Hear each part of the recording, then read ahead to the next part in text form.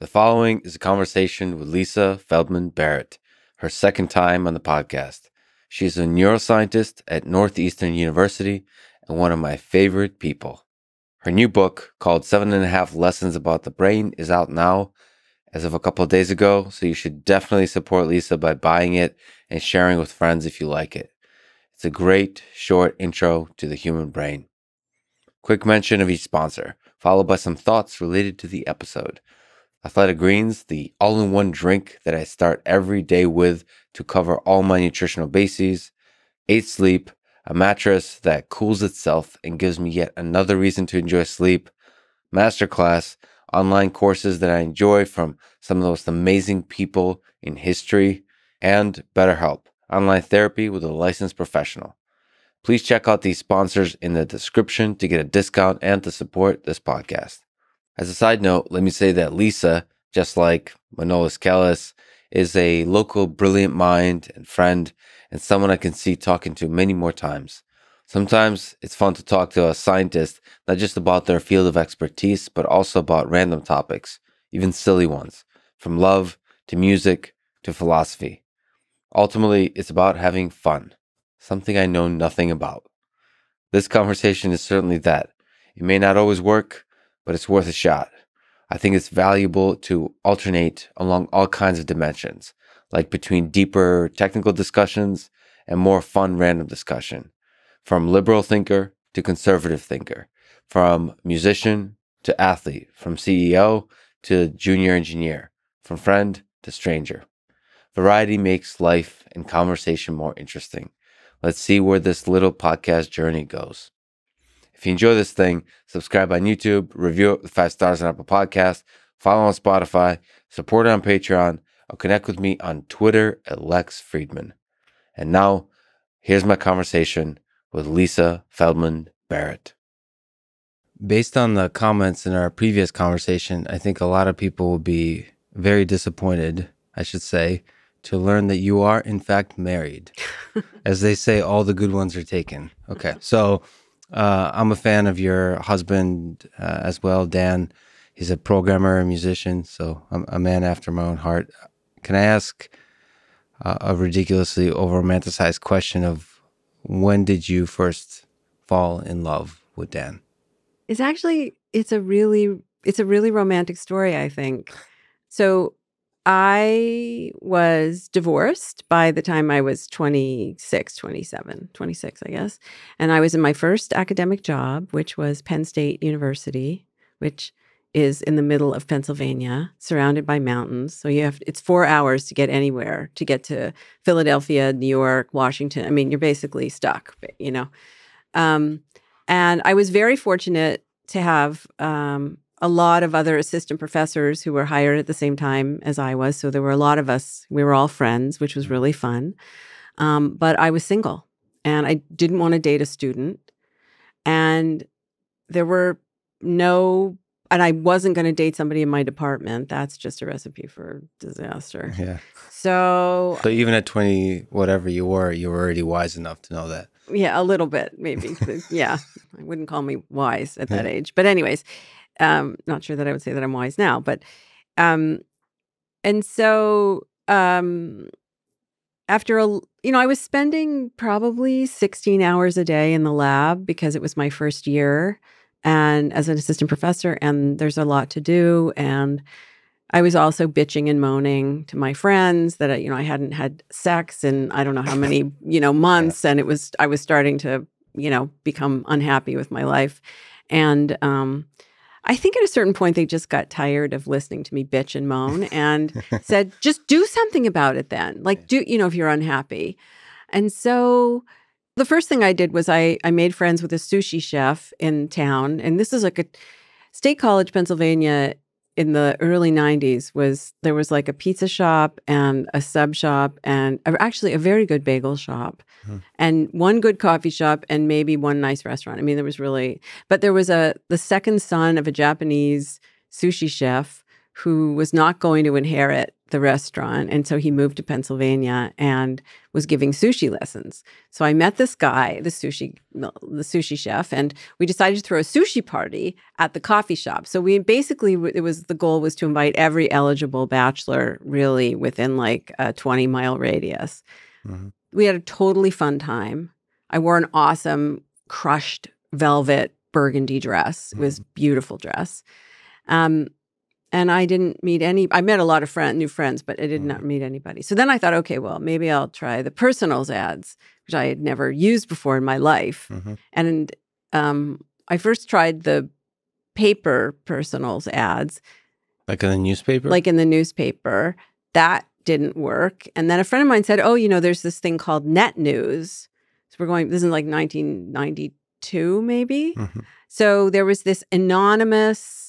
You could do it anonymously. So you would you would read, um, you could post or you could read ads, and then respond to an address which was anonymous, and you that was yoked to somebody's real address, and um, and there was always a lag because it was this like a bulletin board sort of thing. So at first I read I read them over and I decided to to respond to one or two and you know it was interesting. Sorry, this is not on the internet, Yeah, this is totally on the internet. but it takes, there's a delay of a couple days or whatever. yeah, right, right. It's 1992. And there's, there's no no, web. Web. no the- pictures. there's no pictures. The web doesn't exist. It's all done in ASCII format, sort of. um, Right. and you know, but the ratio, NASCII. Yeah. but the ratio of um, men to women was like ten to one. I mean, there were many more men because it was basically academics and the government. That was it. That was what- no. I mean, I think AOL maybe was just starting to become popular, but um, and so the first uh person I met told me that he was a um he worked he was a scientist who worked for NASA and um yeah um anyways it turned out that he didn't actually yeah. This is um, how they brag is is like yeah. you uh, elevate your as opposed to saying you're taller than you are, you say like your position is higher. yeah and I actually I would have been fine dating somebody who wasn't a scientist it's just that the, they have it's just that whoever I date has to j- just accept that I am and that I'm I was pretty ambitious and was trying to make my career and you know that's not that that's not an, i think it's maybe more common now for men to maybe accept that in their female partners but at that time not not so Could be common intimidating, I guess. yes I, I that has been said and so um and so then the next one i actually corresponded with and we actually got to the point of talking on the phone and we had this really kind of funny conversation where you know we are chatting and he said he's he introduces the idea that um you know he's really looking for a dominant woman and i'm thinking i'm a psychologist by training so i'm thinking oh he means sex roles like Yeah. i'm like no i'm very assertive and i'm glad Yeah. you think that you know okay Yeah. anyways long story short that's not really what he meant Oh. okay, got it. yeah so and i just you know that will just show you my level of naivete like i was like i didn't completely understand but i was like well yeah you know no at one point he asked me how i felt about him uh, wearing my lingerie and i was like Hmm. i don't even share my lingerie with my sister like Yeah. i don't share my lingerie with anybody Yeah. you know N- no the third one i interacted with was a banker who lived in singapore and um that that conversation didn't last very long because he made an analogy. I guess he he made an analogy between me and a character in the Fountainhead Mm. um the woman who's who's raped in the Yeah. Fountainhead and I was like okay that's not That's not a good. that's not a good not no that's not a good one not that part. making not that it scene. not that scene. So then I um so then I was like, okay, you know what? I'm gonna post my own ad. And so I did. I posted well, first I wrote my ad and then I of course I checked it with my my friends who were all also assistant professors. They're like my little Greek chorus. And then I posted it and I got something like uh, I don't know, 80 something responses in 24 hours. I mean, it was ve- Do you remember the pitch? um Like how how you I guess condensed yourself. I don't remember it exactly, although Dan has it. Okay. Um, but um, actually for our 20th wedding anniversary, he took our our exchanges and he printed them off and put them in a leather bound book Mm. for us to read, which was really sweet.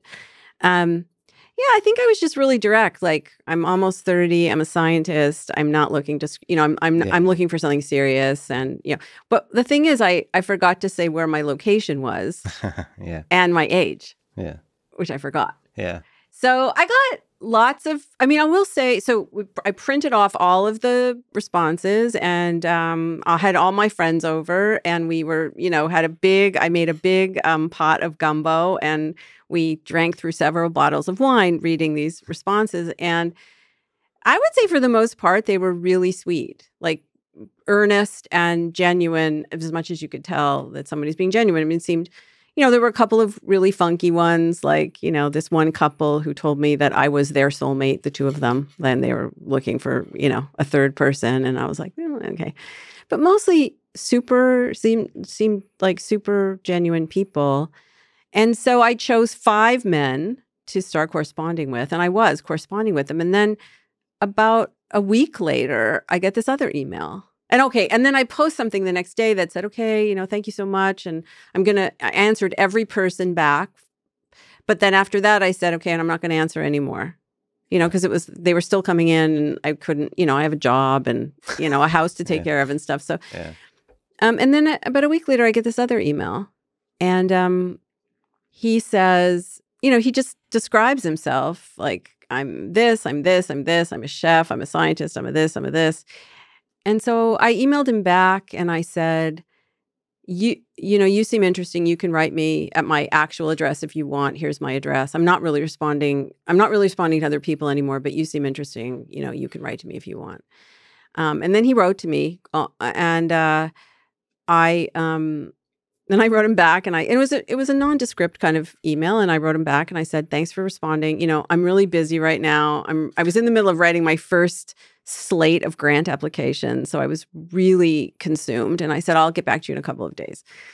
And so I did. I waited a couple of days until my grants were, you know, safe grant application safely out the door, and then I emailed him back, and then he emailed me, and then really across two days we sent a hundred emails. And text only? Was there pictures or any of that? text stuff? only, text only. Wow. And then, so this was like a Thursday and a Friday.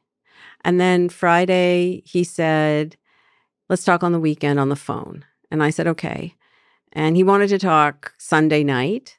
And I had a date Sunday night. So I said, okay, sure.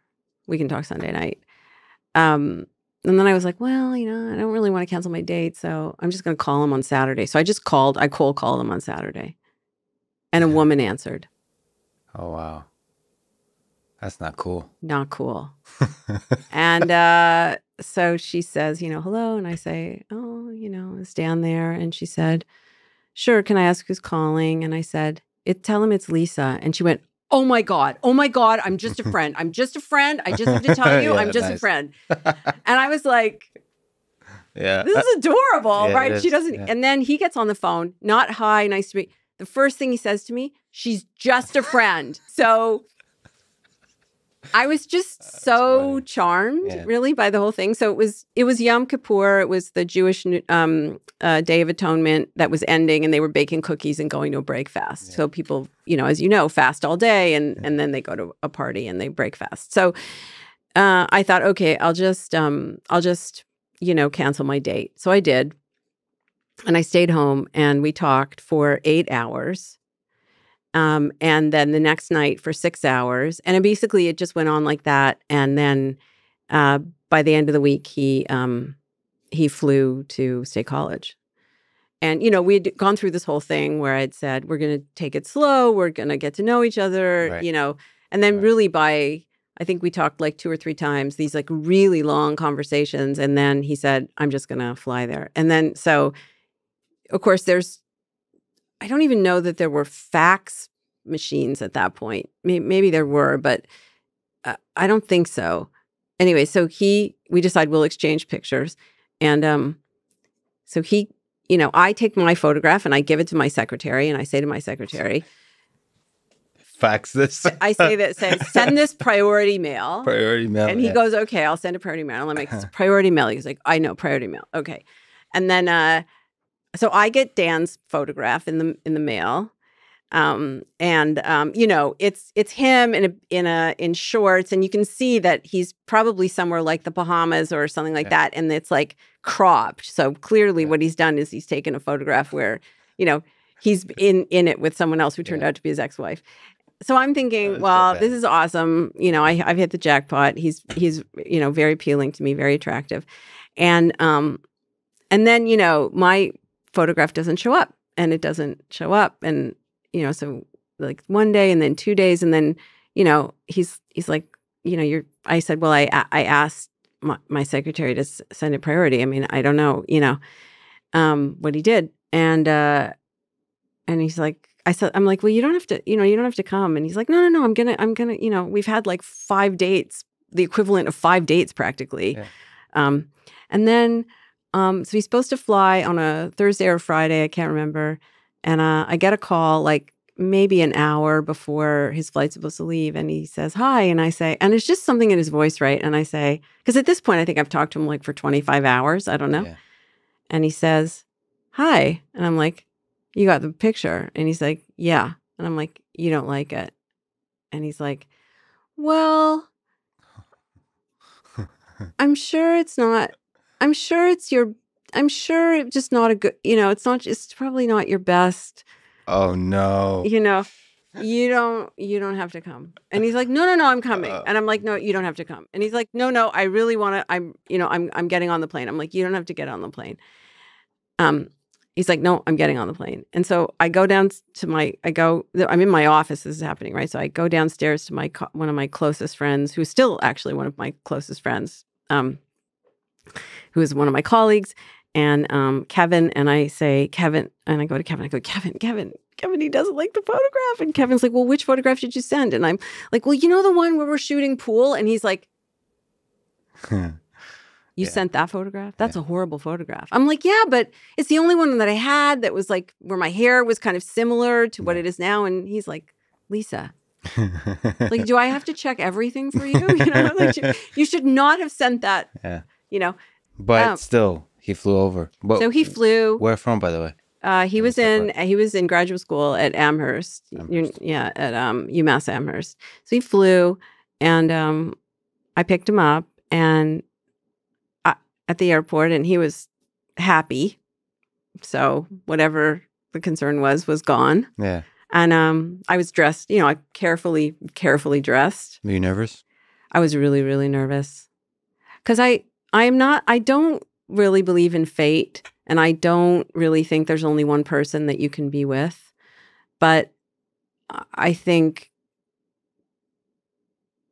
you know people who some people are curvy they're kind of complicated and Mhm. so the number of people who fit them is maybe less than I like it. Mathematically speaking, yeah. I got it. um, and so when I was going to pick him up at the airport, I was thinking, well, this could, I could be going to pick up the the person I'm going to marry, or not.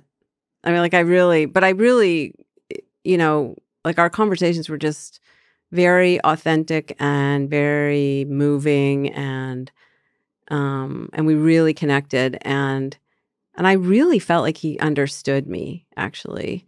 Um, in in a way that a lot of people don't and um and and what was really nice was at the time um you know the airport was this tiny little airport out in a cornfield basically. And so driving back to the town we were in the car for 15 minutes completely in the dark as i was driving. And so it was very similar to we had just spent you know 20 something hours on the telephone um, sitting in the dark talking to each other.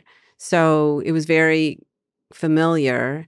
And we basically spent the whole weekend together and he met all my friends and we had a big party. And um, and at the end of the weekend, um, I said, okay, you know, if we're going to give this a shot, we ca- we probably can, we shouldn't see other people.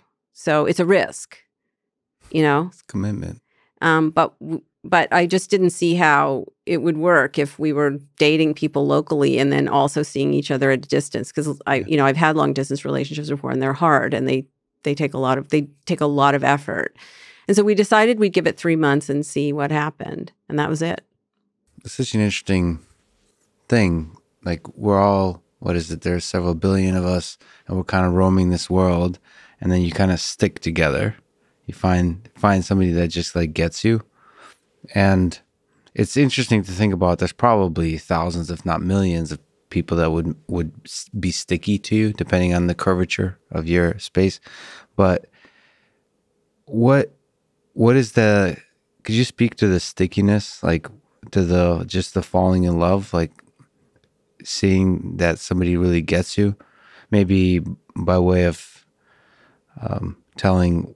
Do you think? Do you remember there was a moment when you just realized, damn it, I think I'm like, I think that's, this is the guy. I think I'm in love.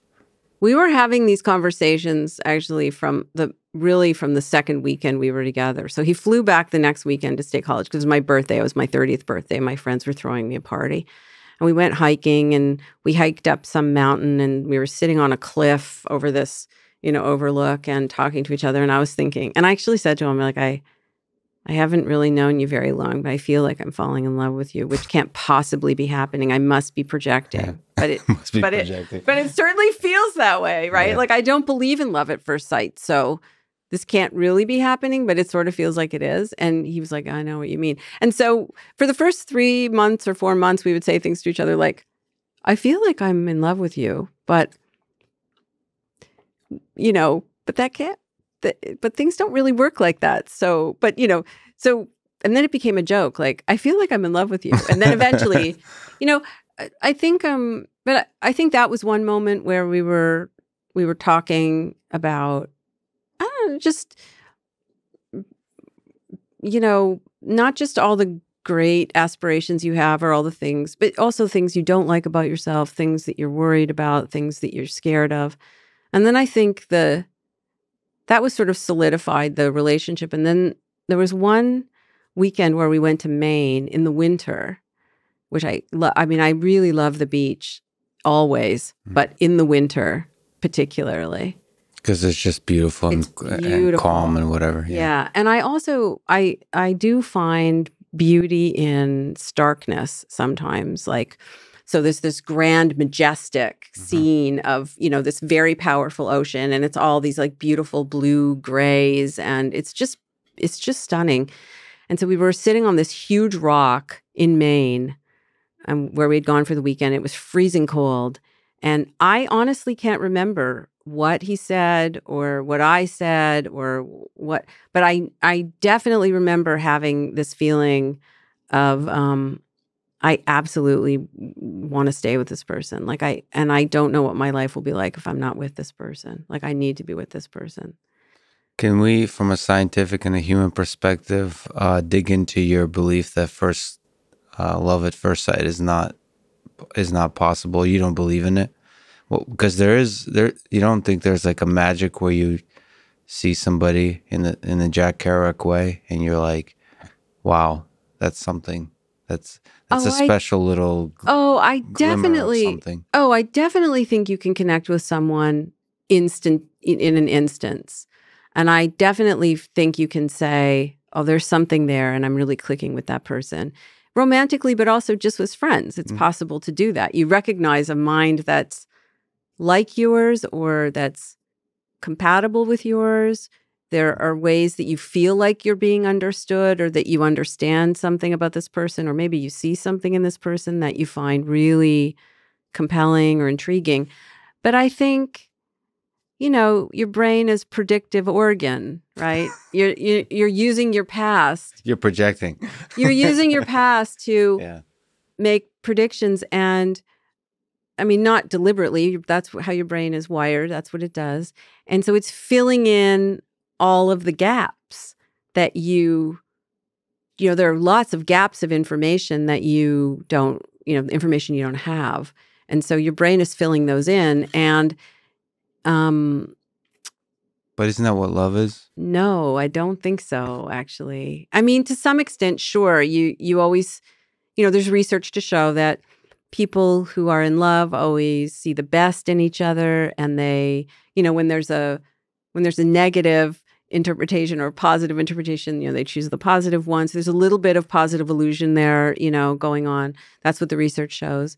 But I think um I think that when you find somebody who not just appreciates your faults but lo- loves you for them actually you know like maybe even doesn't see them as a fault that's you so you have to be honest enough about what your what your faults are so it's easy to love someone for all the things that they um uh for all the wonderful characteristics they have. It's harder, I think, to love someone despite their faults, or maybe even the faults that they see aren't really faults at all to you. They're actually something really special. But isn't isn't that? Can't you explain that by saying the brain kind of like you're projecting? It's you're you have a conception of um, a human being or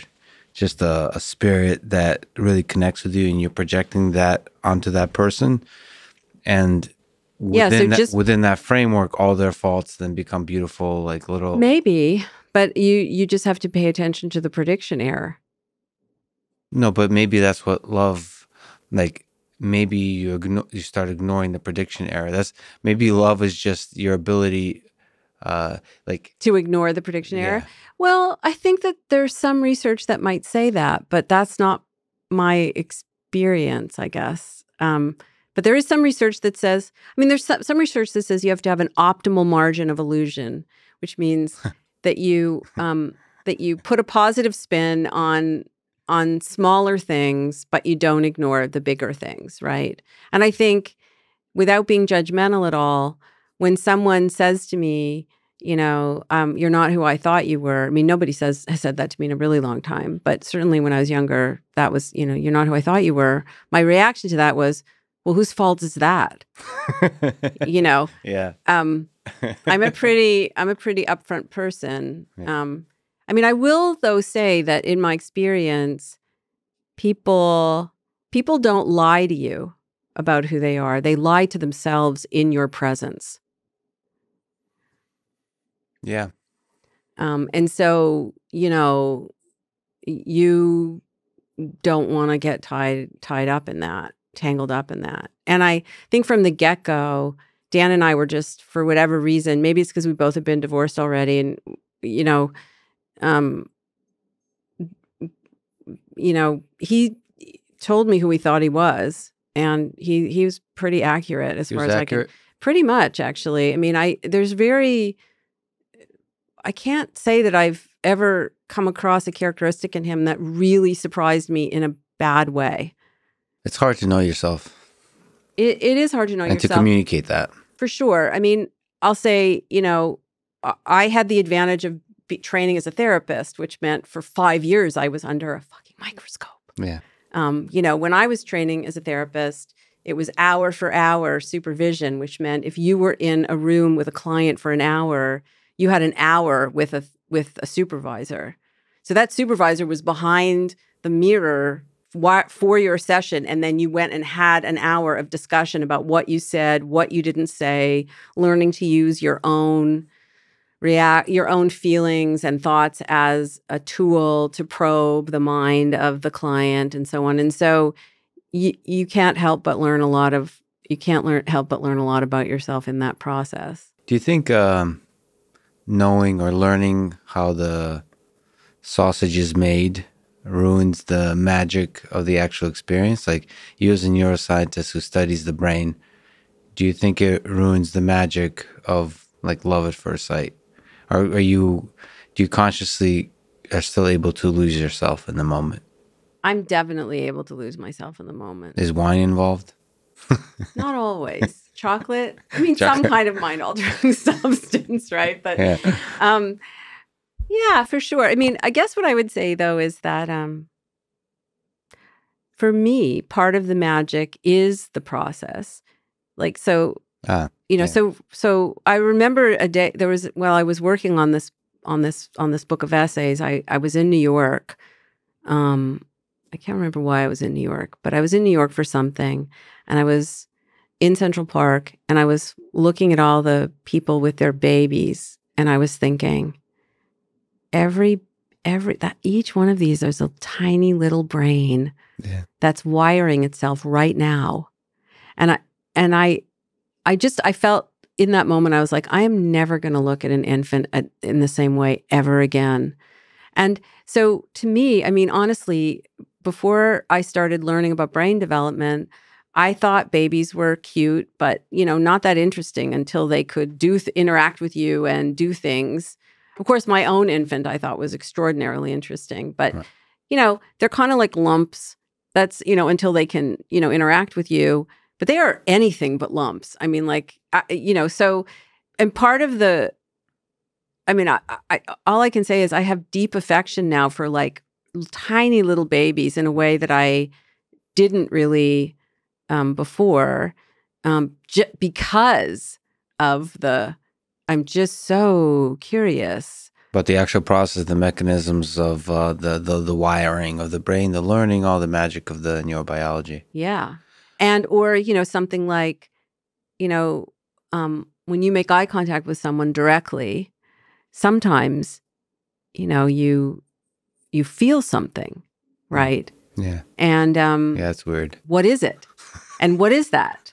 And so so to me that's not um that's not backing away from the moment. That's like expanding the moment. It's like Mm. that's incredibly cool. You know, when I was um I'll just say that when I was when I was in graduate school, I also was in therapy because it's almost a given that you're going to be in therapy yourself if you're going to become a therapist. And I had a deal, you know, with my therapist, which was that I could call time out at any moment that I wanted to, as long as I was being responsible about it Mhm. and I wasn't using it as a way to get out of something. And he could tell me no, you know, he could decline and say no, we're you're, you know, you're using this to get out of something. But Mhm. I could call time out whenever I want and say, what are you doing right now? Like, what are you, here's what I'm experiencing. What are you trying to do? Like, I wanted to use my own experience to interrogate um, what the process was. Hmm. And that made it m- more helpful in a way. Do you know what I mean? So, Yeah. yeah, I don't, I don't think learning how something works makes it less magical, actually. But that's just me, I guess. I don't know. Would you? Yeah, uh, yes. I tend to uh, have two modes. One is one is an engineer, and one is uh, romantic. And I'm conscious of like, like the gear, like you like. There's two rooms. You can go into the one, the engineer room, and I think that ruins the romance. So I tend to. There's two rooms. One is the engineering room. Think from first principles. How do we build the thing that creates this kind of uh, behavior? And then you go into the romantic room where you're like emotional. It's a roller coaster, and then you're. Uh, the thing is, let's take it slow, and then you get married the next night. That you you're just this giant mess, and you write a song, and then you cry, and then you send a bunch of text and anger and and whatever, and somehow you're in Vegas, and there's random people, and you're drunk, and whatever, all that, like in poetry, and just mess of it, Hmm. fighting. Yeah, yeah, that's not. Those are two rooms, and you go back between between them. But I think the way you put it is quite poetic. I think you're much you're much better at adulting uh, with love uh, than uh, than perhaps I am because there is a magic to children. I also think uh, like of adults as children. It's kind of cool to see. It's a cool thought experiment to look at adults and think like that used to be a baby, and then that's like a fully wired baby, and it's just walking around pretending to be like all serious and important, wearing a suit or something. But that used to be a baby, and then you think of like the parenting and all the experiences they had. Like it's it's cool to think of it that way. But then you, I start thinking like from a machine learning perspective. But once you're like the romantic moments, all that kind of stuff, all that falls away. I forget about all that. I don't know. That's mean, the I- Russian thing. I- Maybe, maybe. But I also think it might be an age thing or maybe an experience thing. So I think um we all I mean, if you're exposed to Western culture at all, you are exposed to the uh, sort of idealized, stereotypic, romantic, romantic, you know, uh, exchange. And what what does it mean to be romantic? And um, so here's a test. Um, um, I'm see how to phrase it. Okay, so not really a test, but this this tells you something about your own ideas about romance uh, for Valentine's Day one year, my husband bought me a six way plug. Is that romantic or not romantic? like, uh, sorry, six way plug. That's like an out, like a yeah, like to put it in an outlet. Is that romantic or not romantic? I mean, d- depends the look in his eyes when he does it. I mean, it depends on the conversation that led, led up to that point depends how much uh, it's like the music because like, you have a very you're you're both from the my experiences with you as a fan you have a, both a romantic nature but you have a very pragmatic like you cut through the bullshit of, of uh, the, the, fuzziness. And there there's something about a six way plug that cuts through the bullshit that connects to the human like he understands who you are. Exactly. Yeah.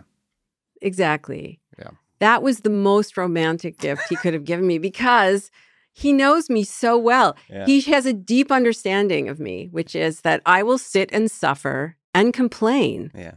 about the fact that I have to plug and unplug things. Yeah. And I will bitch and moan until the cows come home, but it would never occur to me to go buy a bloody six way plug. Whereas for him, he bought it, he plugged it in, he arranged, he taped up all my wires, he made it like really usable. and for me, that was uh, that was the best the present. most romantic it was, thing. It was the most romantic thing because he understood who I was and he did something very or you know just the casual like we moved into a house that went we went from having a two car garage to a one car garage and I said, okay, you know, I'm from Canada. I'm not bothered by snow. Well, I mean, I'm a little bothered by snow, but he's very bothered by snow. So I'm like, okay, you can ca- park your car in the garage. It's fine.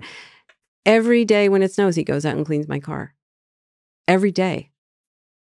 Like, I never asked him to do it.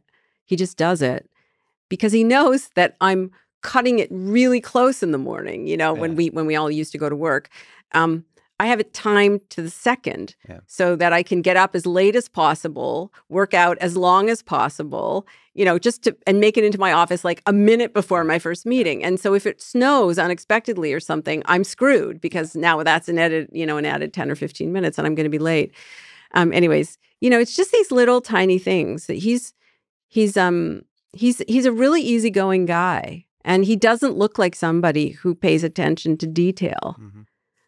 He doesn't fuss about detail, but he definitely pays attention to detail. And it's it is very very romantic in the sense that he um you know, he loves me despite my little details. And understands you. Yeah, but it is kind of hilarious that that is the six way plug is um, the the most fulfilling, richest uh, display of romance in your life. I, I love it. I love That's it. what I mean about romance. Romance is really it's not all about chocolates and flowers and you know whatever. I mean, those are all nice too, but um, sometimes it's about the six way. Sometimes it's about the six way plug. So um, maybe one way I could ask before we talk about the details. You also have an, the author of another book, as we talked about how emotions are made. So it's interesting to talk about the process of writing. You mentioned you were in New York what have you learned from writing these two books about the actual process of writing?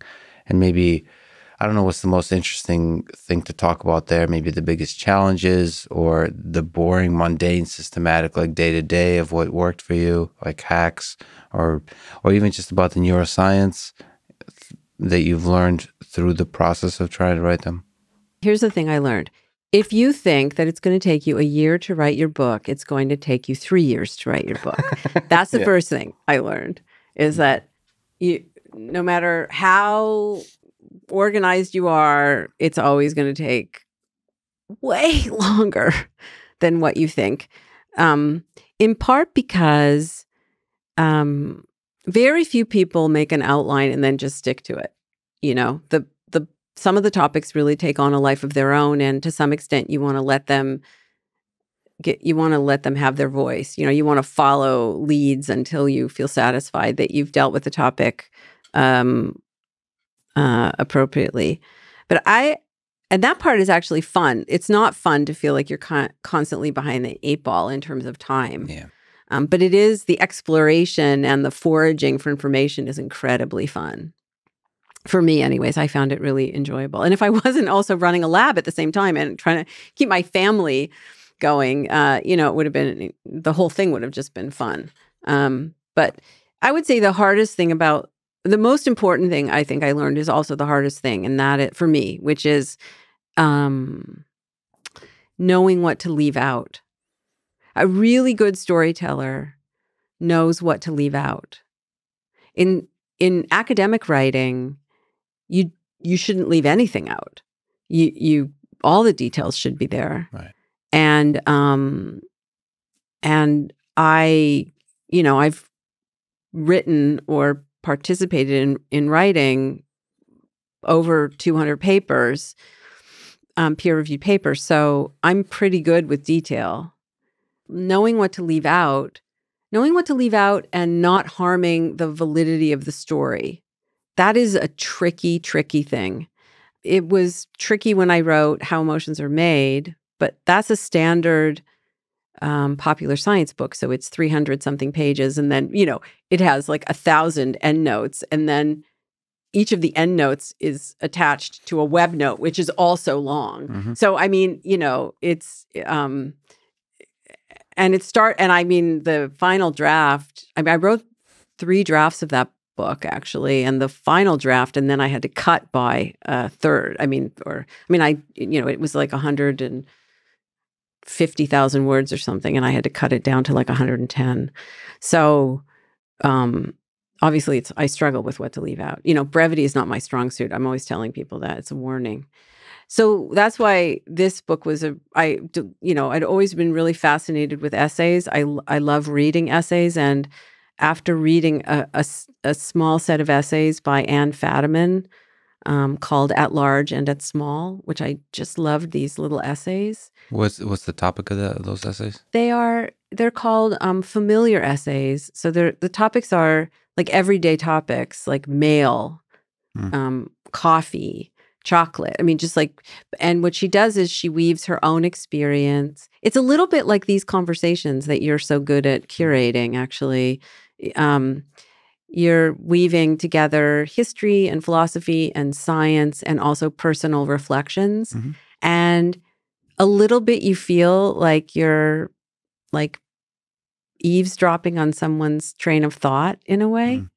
It it's really they're really compelling to me. And even if it's just like a mundane topic. Yeah, but it's so interesting to um learn about like all of these little stories in the in the wrapping of the history of like mail. Mm-hmm. Like that's in that's really interesting. Mm-hmm. And so I read these essays and then I wrote to her a little fangirl email. um, this was uh, many years ago, and um, and I said I le- I I just loved your I loved this book. And how did you learn to write essays like this? And she gave me a reading list of essays that I should read, like mm. writers. And so I read them all. And anyway, so I decided it would be a really good challenge for me to try to write something really brief where I could focus on, you know, one or two really fascinating tidbits of of neuroscience, connect it to connect each one to something philosophical or um, you know, like just a question about human nature. Mm-hmm. Do it in a really brief format without violating the validity of the science. That was a, I just set myself this, what I thought of as a really, really big challenge, in part because it was an incredibly hard thing for me to do in the first book. Yeah, we should say that this is, uh, the seven and a half lessons is a very short book. I mean, it's, uh, it's like, it embodies uh, brevity, right? The whole p- point throughout is just, I mean, you you could tell that there's editing, like, there's pain in trying to bring it as brief as possible, as clean as possible. Yeah. Yeah. So it's I the way I think of it is um, you know, it's a little book of big science and big ideas. Yeah. Really big ideas in in, in brief little packages. And um, you know, I wrote it um so that people could read it I love reading on the beach. I love yeah. reading essays on the beach. I read it. I wrote it so people could read it on the beach or in the bathtub or you know a subway stop. Yeah, even um, if the beach is frozen over in, in, in the snow. yeah. So my husband Dan calls it the first neuroscience beach read. That's his. um That's, that's his phrasing. Yeah. yeah, and like like you said, you learn a lot about writing from your husband, like you were saying offline.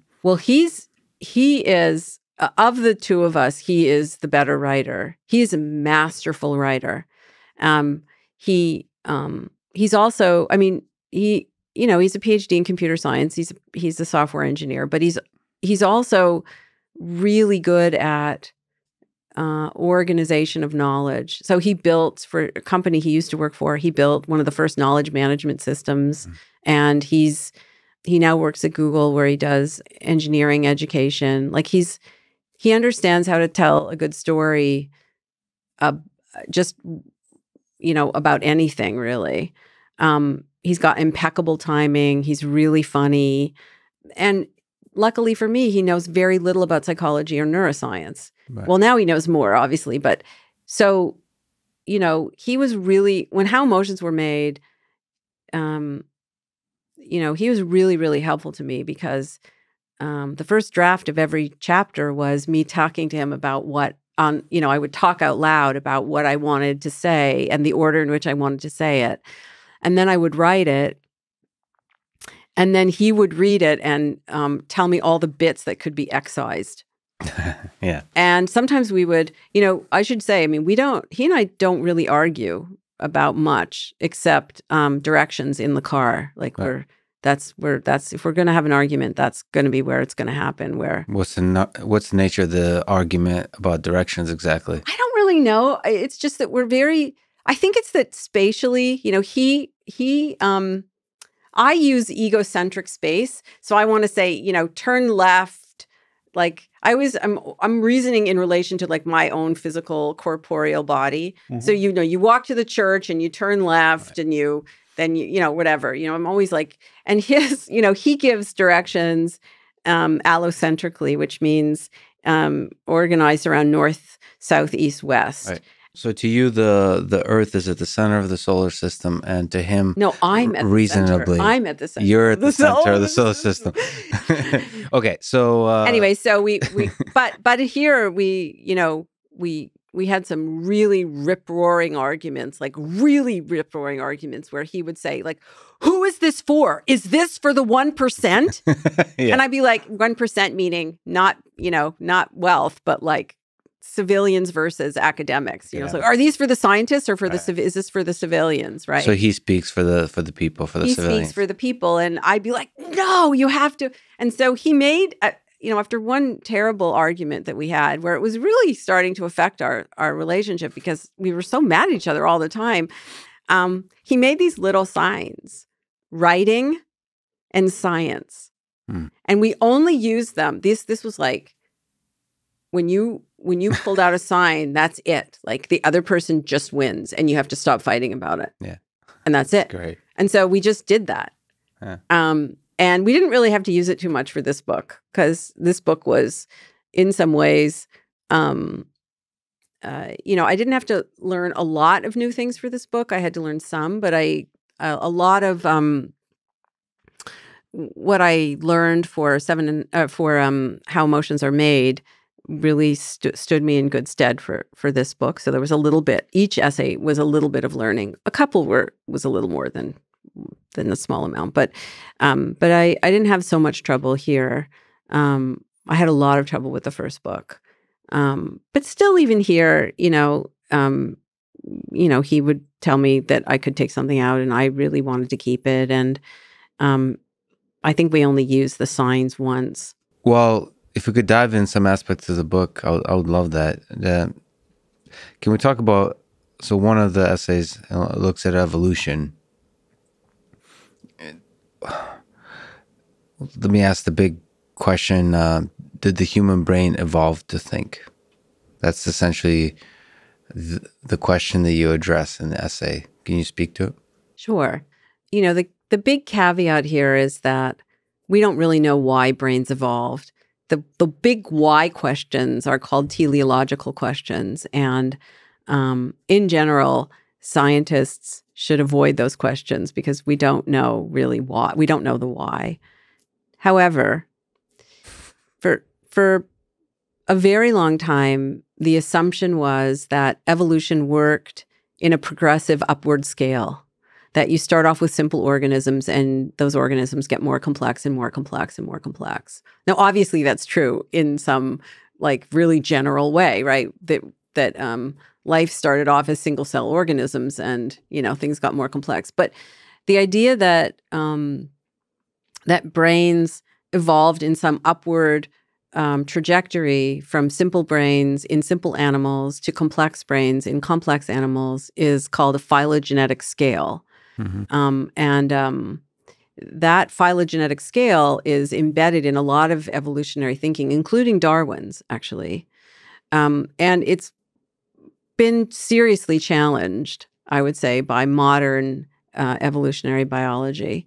Um, and so, you know, thinking is something that rationality is something that humans, at least in the West, really prize um, as a great uh, human achievement. Mm. And so the idea that the most common evolutionary story is that, you know, brains evolved in um, like sedimentary rock um, uh, with you know an, a layer for instincts that's your lizard brain and a layer on top of that uh, uh, for emotions that's your limbic system limbic meaning border so it borders the parts that are for instincts. Oh interesting. And um, and then um, the uh, neocortex or new cortex where um, rationality is supposed to live. That's the sort of traditional story. It just keeps getting layered on top right. by evolution. Right. And so you can think about, you know, I mean, sedimentary rock is the way typically people describe it. The way I sometimes like to think about it is, um, you know, thinking about the cerebral cortex like uh, icing on an already baked cake, yeah. you know, um, where, you know, the cake is your inner beast these like yeah. boiling, you know, roiling instincts and emotions that have to be contained. And the the by the cortex. And the the it's just um it's a fiction. It's a myth. It, it's a myth that you can trace all the way back to stories about morality um, in ancient Greece. But what you can do is look at the scientific record and say, well, there there's others there are other stories that you could tell about brain evolution and and the the context in which brains evolved. So when you look at creatures who don't have brains and you look at creatures who do, what's the difference? And um, you can look at, you know, some animals. Um, so we call scientists call an environment that an animal lives in a niche, their environmental niche. What are the things what are the parts of the environment that matter to that animal? And um, so there's some animals whose niche hasn't changed in 400 million years. So they're they're not these creatures are modern creatures but they're living in a niche that hasn't changed much and so their biology hasn't changed much and you can kind of verify that by looking at the genes that lurk deep you know in, in the molecular structure of cells mm-hmm. and so you can by looking at various animals in their developmental state, meaning mm-hmm. not, you don't look at adult animals, you look at embryos of animals and developing animals. You can see, you can piece together a different story. And that story is that brains evolved under the selection pressure of hunting. That in the Cambrian period, hunting emerged on the scene where animals deliberately ate one another. Um, and what so eh, you know before the cambrian period the animals didn't really have well they didn't have brains but they also didn't have senses really the very very rudimentary senses so the animal that I wrote about in um, seven and a half lessons is called an amphioxus or a lancelet. Mm-hmm. And um, little amphioxus has no eyes, it has no ears, it has no nose, it it it it has no eyes. It has a couple of cells for um, uh, detecting light and dark for circadian rhythm purposes. So, and it it it can't hear. It has a vestibular cell to keep its body upright. Um, it has a very rudimentary sense of touch, and it doesn't really have any internal organs other than this, like basically stomach. It's like a mm. just like a. It doesn't. It doesn't have an enteric nervous system. It doesn't have like a gut that you know moves mm-hmm. like we do. It just has basically a tube. Yeah. Um. So it's like a little container. Like a little container. Yeah. And so and really it doesn't it doesn't move very much it can move it just sort of wriggles it doesn't have very sophisticated movement and it's this really sweet little animal it yeah. sort of wriggles its way to a spot and then plants itself mm-hmm. in the sand and just filters food as the food mm-hmm. goes by um, and then when the food concentration decreases it it just it it just um, ejects itself, wriggles to the ne- to some spot randomly where yeah. probabilistically there will be more food, and plants itself again. Yeah. So it's it's not it's not really aware very aware that it has an environment. It has yeah. a niche, but that niche is very small, and it's not really experiencing that niche very much. Um, so it's it's basically like a little stomach on a stick. That's that's really what it is, and um, but but when animals start to literally hunt each other, um, all of a sudden it becomes important to have to be able to sense your environment because you need to know is that blob up ahead going to eat me or should I eat it? Mm-hmm. And so all of a sudden you want distance senses are very useful. And so in the water, distance senses are vision, and a little bit hearing, um, olfaction, smelling, and touch. Because in the water, touch is a distance sense because mm-hmm. you can mm-hmm. feel the vibration. So it's right. So cool. in um, on air in, on land, you know, vision is a distance sense. Touch, not so much, but for elephants, maybe. Right. Um, mm, the vibrations. Vibrations. Um, olfaction, definitely, because of the concentration of, you know, the more concentrated something is, the more likely it is to be close to you. So animals developed senses. They developed a head, like a literal head. So Amphioxus doesn't even have a head, really. It's just a. You know, What's long... the purpose of a head? That's a great question. Is it is it to have a jaw? That's a great question. So jaw. So yes, jaws are a major um, useful feature. yeah, I would say they're a major adaptation after there's a split between vertebrates and invertebrates. So Amphioxus is thought to be very, very similar to the animal that's before that split. But then after the development, very quickly after the development of a head is the development of a jaw, yeah. which is a big thing. And um and what goes along with that is the development of a brain. It's weird. Is that just a coincidence that the thing, the part of our body, of the mammal, I think, body that we eat with and like attack others with is also the thing that contains the, uh, all the majority of the brain type of well stuff. actually the brain goes with the development of a head and the development of of a visual system and an auditory system and an olfactory system and so on so um, your senses are developing and um and the other thing that's happening right is that animals are getting bigger. Yeah. Because they're and also their niche is getting bigger. Well this is the just sorry to take a, a tiny tangent on the niche thing is uh it seems like the niche is getting bigger but not just bigger like more complicated like shaped in weird ways. So like predation seems to create like like the whole world becomes your oyster, whatever. But like you also start to carve out like the places in which you can operate the best. Yeah. And in fact, that's absolutely right. And in fact, some scientists think that theory of mind, your ability to make inferences about the in, inner life of of other creatures, actually developed under the selection pressure of predation because it makes you a better predator. Do you ever look at? You just said you looked at uh, at babies as these wiring creatures. Do you ever think of humans as just clever predators? Like that there's under uh, underneath it all is this uh, the Nietzschean will to power in, in all of its forms, or are we now friendlier? Yeah, so it's interesting. I mean, there there there are zeitgeists in how humans think about themselves, right? And so if you look in the 20th century, you can see that um, the idea of an inner beast, that we're just predators, we're just basically animals, baseless animals, violent animals that have to be contained by culture and by our prodigious neocortex, um, really took hold, particularly after World War One and really um, held sway for much of that century.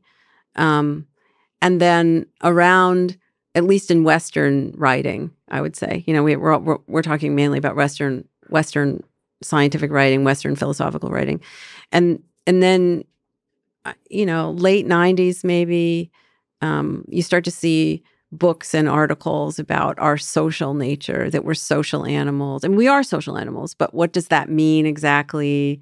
And um, um, so about it's us carving out different niches in the space of ideas. It looks like. I think so. I think so. So, um, so you know, do um, humans um, are can humans be violent? Yes.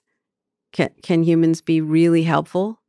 Yeah, yes actually. And humans are interesting creatures because, you know, other animals can also be helpful to one another. In fact, there's a whole literature, booming literature on how other animals um, are, um, you know, support one another. They they regulate each other's nervous systems in in interesting ways, and they will be helpful to one another, right? So, for example, there's a whole literature on rodents and how um, they um, they signal one another what, what is safe to eat, and uh, hmm. they um, will um, perform uh, acts of generosity to their conspecifics that are related to them or or who they were raised with. So if an animal was raised in a litter that is that they were raised in although not even at the same time they'll be more likely to help that animal so there's always some kind of physical relationship between animals um, that predicts whether or not they'll help one another. For humans, humans, you know, we have ways of categorizing who's in our who's in our group and who isn't by, non-physical ways, right? By even by just something abstract like an idea. And we are much more likely to extend help to people in our own group, whatever that group may be, um, at that moment, whatever your whatever feature you're using to define who's in your group and who isn't, um, we're more likely to help those people than even members of our own family at times. So humans are much more flexible in their in the way that they help one another, but also in the way that they harm one another. So I don't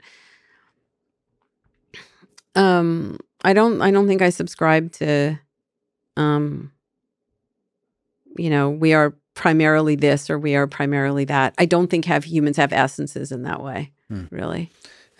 I apologize to take us in this direction for a brief moment, but I've been really deep on Stalin and Hitler recently uh, in terms of reading. And is there something that you think about in terms of um, the nature of evil from a neuroscience perspective? Is there some lessons that are sort of um, hopeful about human civilization that uh, we can find in our brain with regard to the Hitlers of the world. Do you do you think about the the nature of evil? Yeah, I do. I don't know that what I have to say is so useful from a I don't know that I can say as a neuroscientist, well, here or here's a study Right. that, you know, what I so I, I sort of have to take off my lab coat, right? And now I'm gonna now conjecture as a human who just also who has opinions, but who also maybe has some knowledge about neuroscience.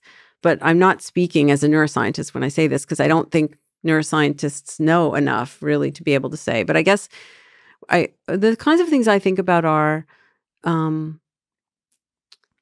what so I, I have always thought even before I I knew anything about neuroscience um I've always thought that um I don't think anybody could become Hitler but I think the majority of people can be can do are capable of doing very bad things. Um it's just the question is really how much encouragement does it take from the environment to get them to do something bad? That's what I kind of when I look at the life of Hitler, it seems like there's so many places where something could have intervened. Inter no, it changed completely the person. I mean, there's like yeah. the caricature, like the obvious places where he was an artist, and if he wasn't rejected as an artist, he was a reasonably good artist. So that that could have changed. But just his entire like where he went in Vienna and all these kinds of things, like like little interactions could have changed. And there's probably millions of other uh, people who are uh, capable, who the environment may be able to mold in the same way it did this particular person to create this particular kind of charismatic leader in this particular moment of time. absolutely and i guess the way i would the way that i would say it i i would agree 100% and i guess the way that i would say it is like this in the west we have a way of reasoning um, about causation which focuses on single simple causes for things you know there's a, a there's an essence to hitler. There's an essence to his character. He was born with that essence or it was forged very very early in his life. And that explains the um the landscape of his the horrible landscape of his behavior. But there's another way to think about it a way that actually is much more consistent with what we know about biology how biology works um, in the physical world and that is that most things are complex not as in wow this is really complex and hard but complex as in complexity that is more than the sum of their parts and that most phenomena have many many weak non-linear interacting causes Mhm. and so little things that we might not even be aware of can shift someone's developmental trajectory from this to that and that's enough to take it on a whole set of other paths that uh, you know that and that these things are happening all the time so it's not random and it's not really it's not deterministic in the sense that like everything you do determines your outcome Mhm. but it's a little more like um you know you're nudging someone from one set of possibilities to another set of possibilities. And i but i think the the thing is the thing that i find optimistic is that the the other side of that coin is also true right? So look at all the people who risked their lives to help people they didn't even know. I mean i just watched borat the new borat Yeah. movie and the thing that I came away with, but you know, the thing I came away with was look at how like generous people were in that. Oh, because he's making there are a lot of people he makes fun of, and that's fine. Mm-hmm. But think about like those two guys, those those the, the the Trump supporter guys, like the Trump Southern- supporter guys. Those guys, cool. Those kind, those kindness in them, right? they took a complete stranger in a pandemic Yeah, into their house. Who does that? Like, Yeah. that's a really nice thing. Or there's one scene, I mean, I don't want to spoil it for people who haven't seen it, but alert. but there's, you know, there's one scene where he goes in, he dresses up as a Jew. I, I laugh myself sick at that scene, seriously. But um, but he goes in and he and there are these two old Jewish ladies. yeah, What a bunch of sweethearts. Oh Yeah. my gosh. Yeah. Like, really? yeah. I mean, that was what I was struck by actually. I mean, there are other ones or or like the babysitter, right? Mm. I mean, she was really kind and yeah, so uh, that's really what I was more struck by like you know, sure there are other people who, you know, who who do very bad things or say, say bad things or or whatever, but you know, or like there's one guy who's completely stoic, like the guy at the um who's doing the like, you know, sending the messages. I don't know if it's fax or whatever. He's just completely stoic, but he's doing his job actually. Mhm. You know, like you can't you don't know what he was thinking inside his head. You don't know what he was feeling, but he was totally professional doing his job. Okay. So I guess I just I, I had a, a bit of a different um v- you know view, I guess. And I, I so I also think that about people. I think everybody is capable of kindness and um but for but you know it's the question is how much does it take and what are the circumstances? So for a lot some people it's going to take a lot and for some people it only takes a little bit. Um but you know are we actually cultivating um an environment for the next generation that um provides opportunities for people to go in the direction of caring and kindness? Yeah. or you know and i'm not i'm not saying that as like a you know pollyanna-ish uh, person um i you know i think there's a lot of room for competition and debate and and so on um but i don't see hitler as an anomaly and i never have that that was even before I, I learned anything about neuroscience and now i would say knowing what we know about developmental trajectories and life histories and how important that is um you know knowing what we know about um that the whole question of like nature versus nurture is a completely wrong question. You know, Mhm. we have the kind of nature that requires nurture. We have the kind of genes that allow infants to be born with unfinished brains, where the brains, their brains are wired across a 25 year period with wiring instructions from the world that is created for them. Mhm. And so I don't think Hitler is an anomaly. Um, you know, But- even if it's even if it's less probable that that would happen, it's possible that it could happen again, and it's not. It's not like you know he's a bad seed. I mean, Right. that doesn't. I just want to say for like, of course, he's completely 100 percent responsible for his actions and Right. all the bad things that happen. Yes. So I'm not in any way. This is not me saying But the environment is also responsible in part for creating the evil in the, in this world. So, like Hitler's and uh, different versions of even more subtle, more smaller scale versions of evil. But I tend to believe that uh, there's a much stronger. Uh, I, I don't- I don't like to talk about evolutionary advantages, but it seems like it makes sense for love to be a more powerful uh, emergent phenomena of our collective intelligence versus hate and evil and destruction. Because from a survival, from a niche perspective, it seems to be uh, like for, for in my own life and my thinking about the intuition about the way humans work together to solve problems. It seems that love is a very useful tool. I definitely agree with you. But I think the caveat here is that, um, you know, humans, the research suggests that humans are are capable of great acts of kindness and great acts of generosity to people in their in group. Right. And So we're also tribal. Yeah, I mean that's the ki- that's the kitschy way to say it. We're tribes, we're tribal. Yeah. Yeah. So that's the kitschy way to say it. Uh, What I would say is that you know, there are a lot of features that you can use to describe yourself.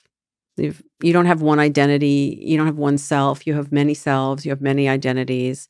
Um, sometimes you're a man, sometimes you're a scientist, sometimes you're a do you have a brother or a sister? Yeah, brother. So sometimes you're a brother. You know, you you sometimes you're a friend. You- Sometimes you're human, so you can keep zooming out. Yes. Living exac- organism on Earth. Yes, exactly. That's exactly that's exactly right. And so um there are there are some people who there is research which suggests that um, there are some people who will tell you, I think it's appropriate and better to help I should help my family more than I should help my neighbors and I should help my neighbors more than I should help the Mhm. average stranger and I should help um you know the average stranger in my country more than I should help somebody outside my country. And I should help humans more than I should help you know other animals. And I should right? So there's a clear hierarchy of helping. And there are other people who um you know they are their niche is much more inclusive right? Mhm. and that they're humans first Yes. right? Or or creatures of the earth first let's say. Um and i don't think we know how flexible those attitudes are because i don't think the research really tells us that. But in any case there are you know and there are beliefs. People also have beliefs about there's this really interesting research in um really in anthropology um that looks at what are cultures particularly afraid of. Like what the people in a particular culture are organizing their social systems to prevent certain types of problems. So what are the problems that they're worried about? And Mhm. and so there are some cultures that are much more hierarchical and some cultures that are you know much more egalitarian. There are some cultures that you know in the debate of like getting along versus getting ahead there are some cultures that really prioritize the individual over the group and there are other cultures that really prioritize the group over the individual. You know it's not like one of these is right and one of these is wrong. It's that you know different combinations of these features are different solutions that humans have come up with for for living in groups which is a major adaptive advantage of our species. Um and it's not the case that one of these is better and one of these is worse although as a person of course i have opinions about that and as a person Right. I I can say I would very much prefer certain I have certain beliefs and I Yeah. really want everyone in the world to live by those beliefs, you know. But as a scientist, I know that it's not really the case that for the species Mhm. any one of these is better than any other. There are different solutions that work differentially well in particular you know, uh, ecological parts of the world. But for individual humans, there are definitely some systems that are better and some systems that are worse, right? But when when anthropologists or when neuroscientists or biologists are talking, they're not usually talking about the lives of individual people. They're talking about you know the species, what's better for the species, the survivability of the species, and what's better for the survivability of the species is variation.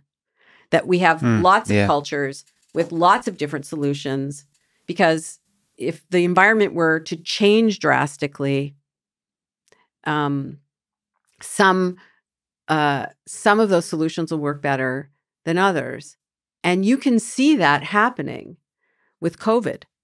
Right. So, so some people might be more susceptible to this this virus than others, and so variation is very useful. Say COVID was much much more destructive than it is, and like I don't know, twenty percent of the population was died.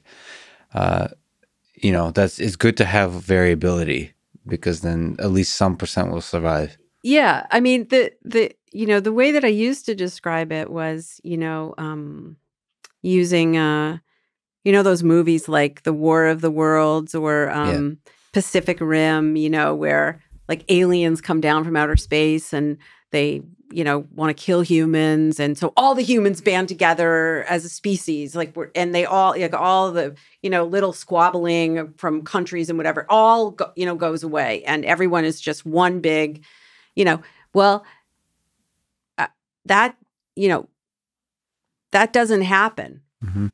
I mean because covid is you know the vi- a virus uh, uh, like co like covid-19 is like what uh, uh, a creature from outer space Mhm. and that's not what you see happening what you do see happening it is true that some people i mean we could use this as an example of essentialism also so just to say like exposure to the virus does not mean that you will become infected with a disease so i mean in controlled studies one of which was actually a coronavirus not covid but an this was these are studies from 10, Mhm. 10 or so years ago you know only somewhere between 20 and 40 percent of people uh, were developed respiratory illness when a virus was placed in their nose Yeah. um, And so, But then there's a dose question, all those. well, not in these studies, actually. So, in these studies, the dose was consistent across all people. Um, and everything, you know, they were sequestered in hotel rooms, and what they ate was, you know, um, measured out by scientists and so on. And so, when you hold dose, I mean, the dose issue is a real issue in the real world, but um, in these studies, that was controlled. Um, and only somewhere between 20, depending on the study, between 20 and 40% of people became infected with a disease. So, exposure to a virus doesn't mean de facto that you will um, develop an illness. You will be a carrier and you will spread the virus to other Mhm. people, but you yourself may not, uh, your immune system may be. Um, in a state that um, you you can make enough antibodies to um, not uh, not show symptoms, n- not develop symptoms. Um, and so, um, of course, what this means is again is that you know, like if, if I asked you, do you think you know a virus is the cause of ill of a, of a common cold, or you know, most people, if I ask this question, I can tell you because I, I I asked this question. So, do you think a virus is the cause Mhm. of a cold? Most people would say yes, I think it is. And then I say, yeah, well, only twenty to forty percent of people develop respiratory illness in exposure to a virus. So clearly, it is a necessary cause, but it's not a sufficient cause. And there are other causes. Again, so not simple single causes for things, right? Multiple interacting influences. So it, it it is true that individuals vary in their susceptibility to illness upon exposure, but different cultures have different sets of norms and practices that allow that will slow or or speed the spread. And that's the that's the point that I was actually trying to make here that um that you know when the environment changes that is there's a, a mutation of a virus that be, is incredibly infectious some cultures will succumb people in some cultures will succumb faster because of the particular norms and practices that that they've developed in their culture versus other cultures. Now there could be some other you know thing that changes that where those other other cultures are, are you know would do better. So very individualistic cultures like ours may do much better under other types of selection pressures. But for covid for things like covid you know my colleague michele gelfand her research shows that she she looks at like loose cultures and tight cultures so cultures that have very very strict uh, rules versus cultures that are much more individualistic and where personal freedoms are um, more valued. And she, you know, sh- her research suggests that for pandemic uh, circumstances, tight cultures actually the people survive better. Just to linger a little bit longer, we started this uh, part of the conversation talking about, you know, did uh, humans evolve to think? Did the human brain evolve to think? Implying, is there like a progress to the thing that's always improving? That's right. We never, yeah. And so the answer is no. But let me sort of push back. But so uh, your intuition is very strong here, not your intu- intuition, the way you describe this. But is it possible there's a direction to this evolution? Like, do you think of this evolution as having a direction? Like it's like walking along a certain path towards something? Because we, you know, uh, what is it? uh, is it Elon uh, Musk said like uh, this the Earth got bombarded with photons, and then all of a sudden, like a Tesla was launched into space or whatever, a rocket started coming. Like, is there a sense in which, even though in the like within the system, the evolution seems to be this mess of variation, we're kind of trying to find our niches and so on. But do you think there ultimately, when you zoom out, there is a direction that's strong that does tend towards um, greater complexity and intelligence? No. so I mean, and I and again, I, what I would say is I'm really I'm really just echoing people who are much smarter than I am about this. But I- see, you're saying smarter. I thought it doesn't. There's no. I thought there's no smarter. No, I didn't say there's no smarter. I said Yeah. there's no direction. Okay. So I think the thing to say, or or what I understand to be the case, is that um, there's variation. It's not unbounded variation, Mm. and there are selectors. There are there are there are pressures that will select, and so not anything is possible because we live on a planet that has certain physical realities to it, right? Mhm. Um, and but those physical realities are what constrain the possibilities. Um, the physical realities of our genes and the physical realities of our corporeal bodies and the physical realities of um, uh, you know the of life on on this planet.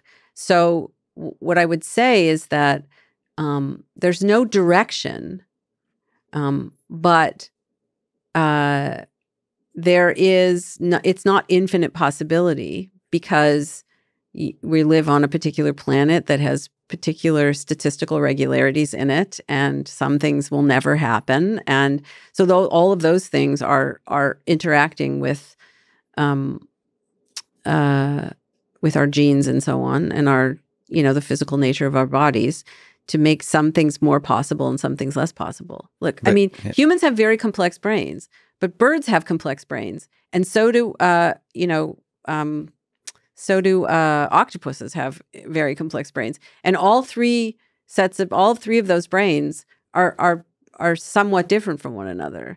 You know uh bird birds some birds have very complex brains. Some even have rudimentary language. They have no cerebral cortex.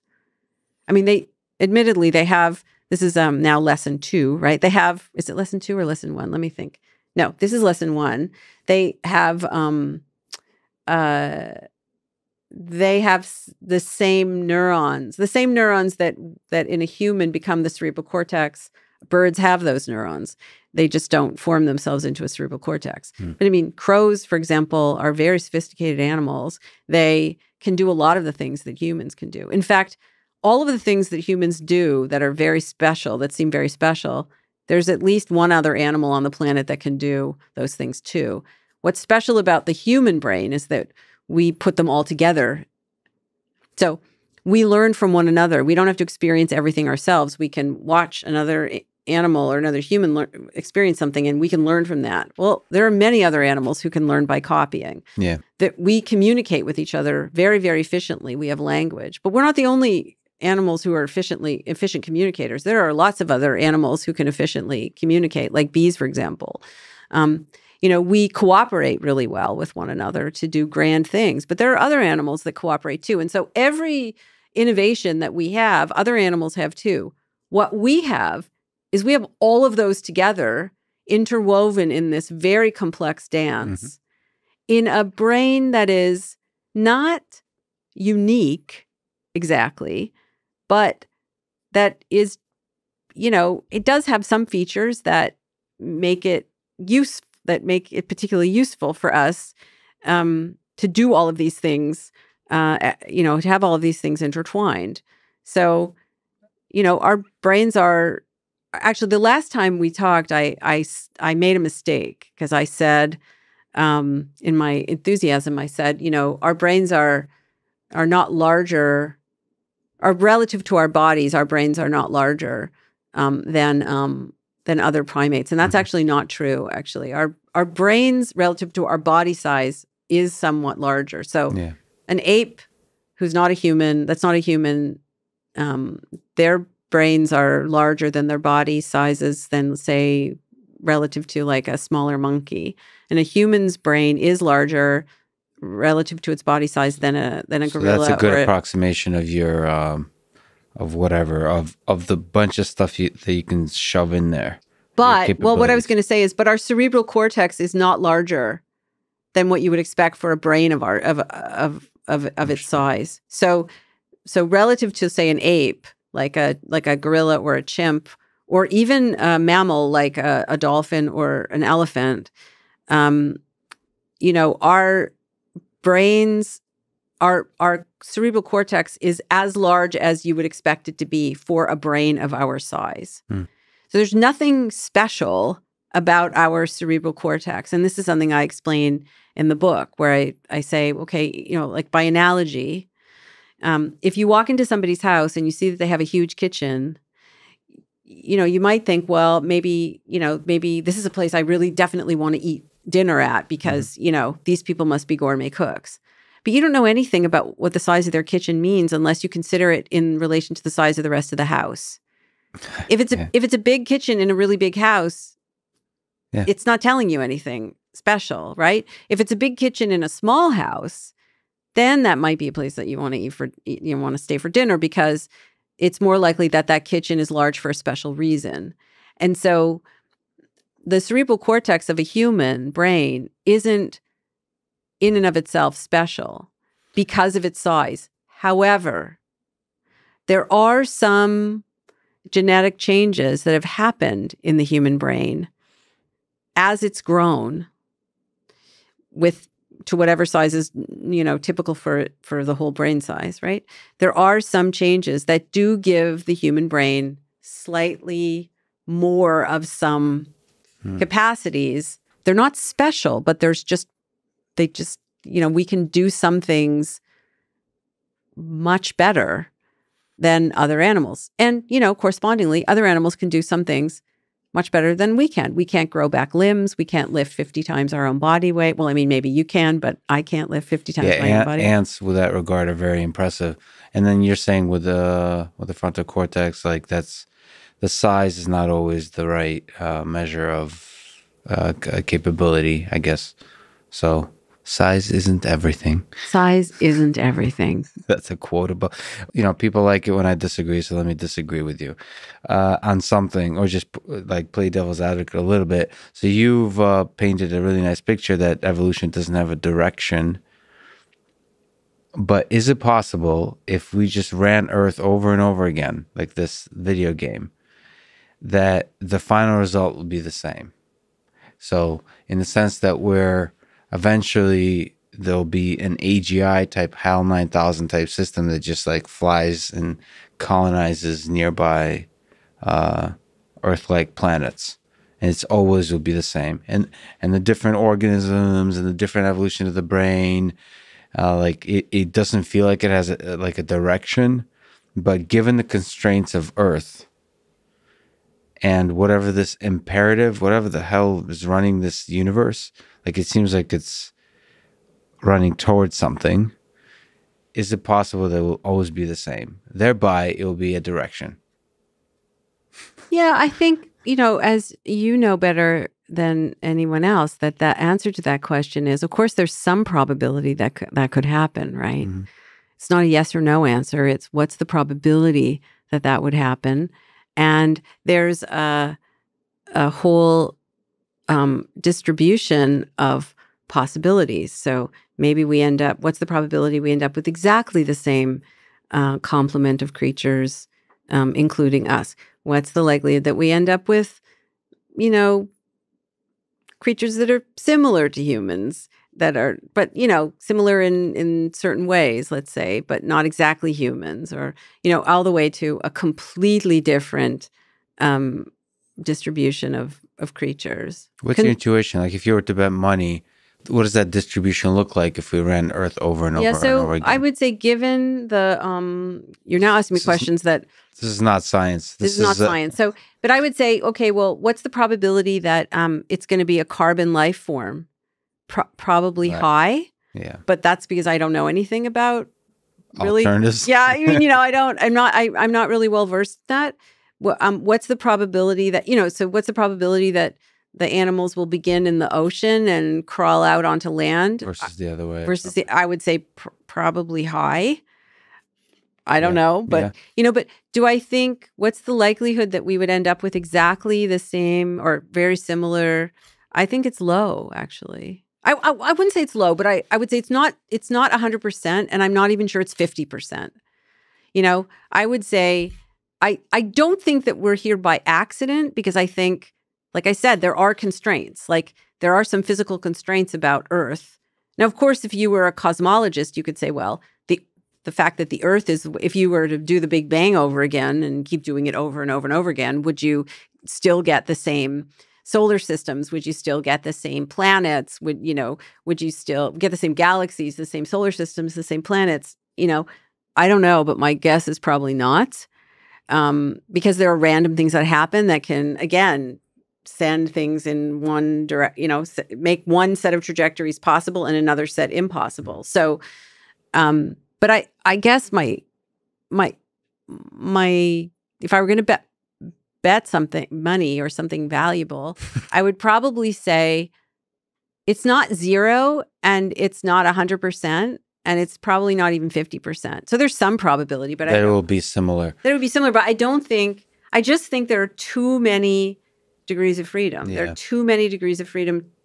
I, I mean, I, one of the real tensions in writing this book is to, on the one hand, there's some truth in saying that humans are not special. We are just, you know, we're not special in the animal kingdom. All animals are um, well adapted. If they're survived, they're well adapted to their niche.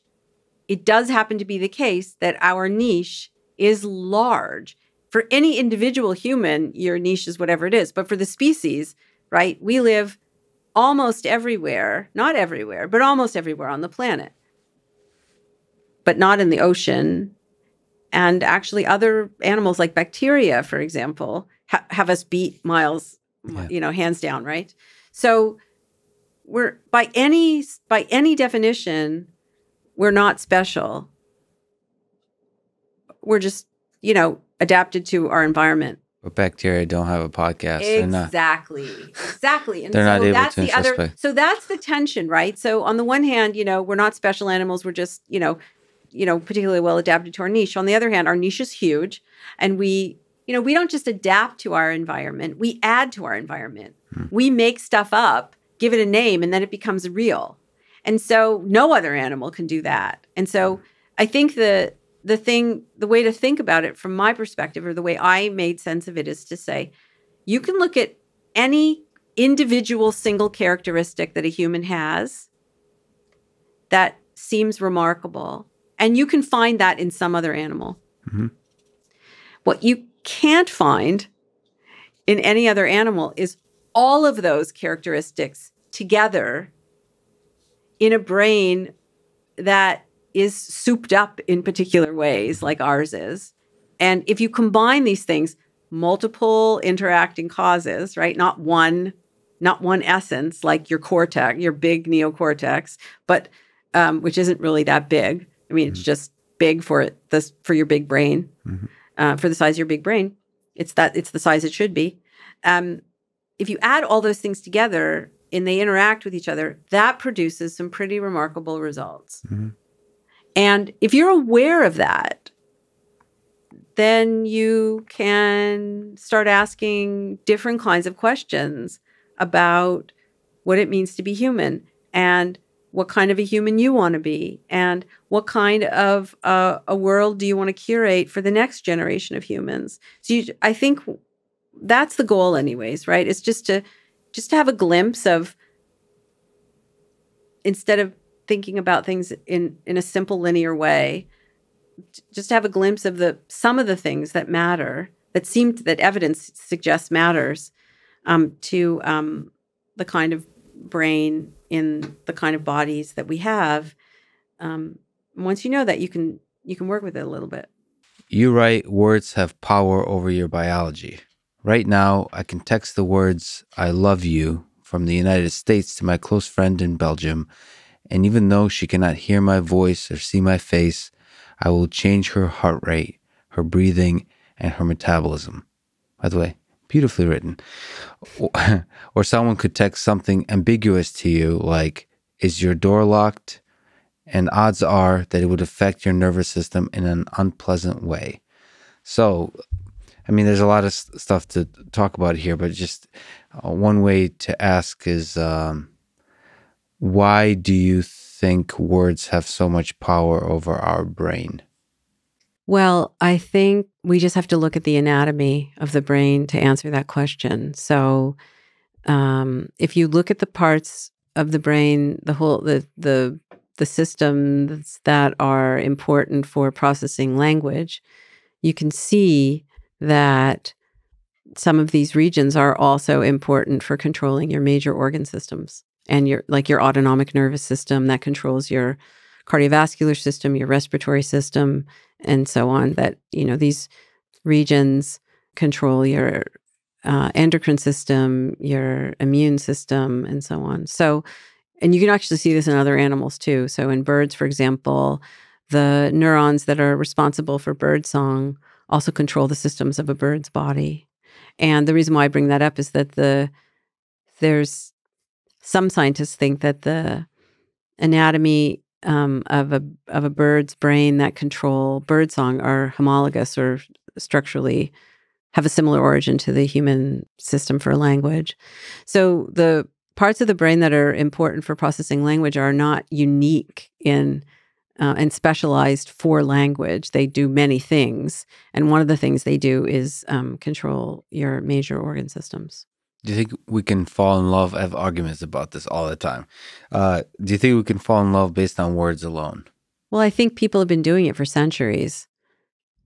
I mean, they mean, it used to be the case that people wrote letters to each other. Yeah. Um, you know, and then uh, that was how they communicated. And I guess that's how you and Dan got. exactly, exactly, exactly, exactly. Yeah, exactly.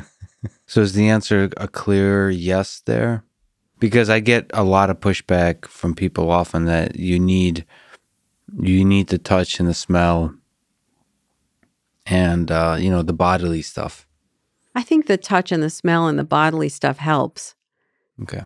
But I don't think it's necessary. Do you think you can have a lifelong monogamous relationship with an AI system that only communicates with you on text, romantic relationship? Well, I suppose that's an empirical question that hasn't been answered yet. But so yeah, um, I, I guess what I would say is um, I don't think I could. Could any human? Could the average human? Could you know? So so um, if I if I um I, I even I want to even I want to even modify that and say I'm thinking now of um Tom Hanks um, and um, the movie um, Castaway. Yeah, you know, with Wilson. Yeah, I think if if that was if you had to make that work, if you had to make that work with the volleyball, yeah. If you had to make it work, could you? You could you prediction and simulation, right? So if you had to make it work, could you make it work using simulation and you know your past experience? Could you make it work? Could you make it work? You as a human could you could you like could you have a could you have a relationship literally with an inanimate object and have it sustain you in the way uh, that another human could? Yeah.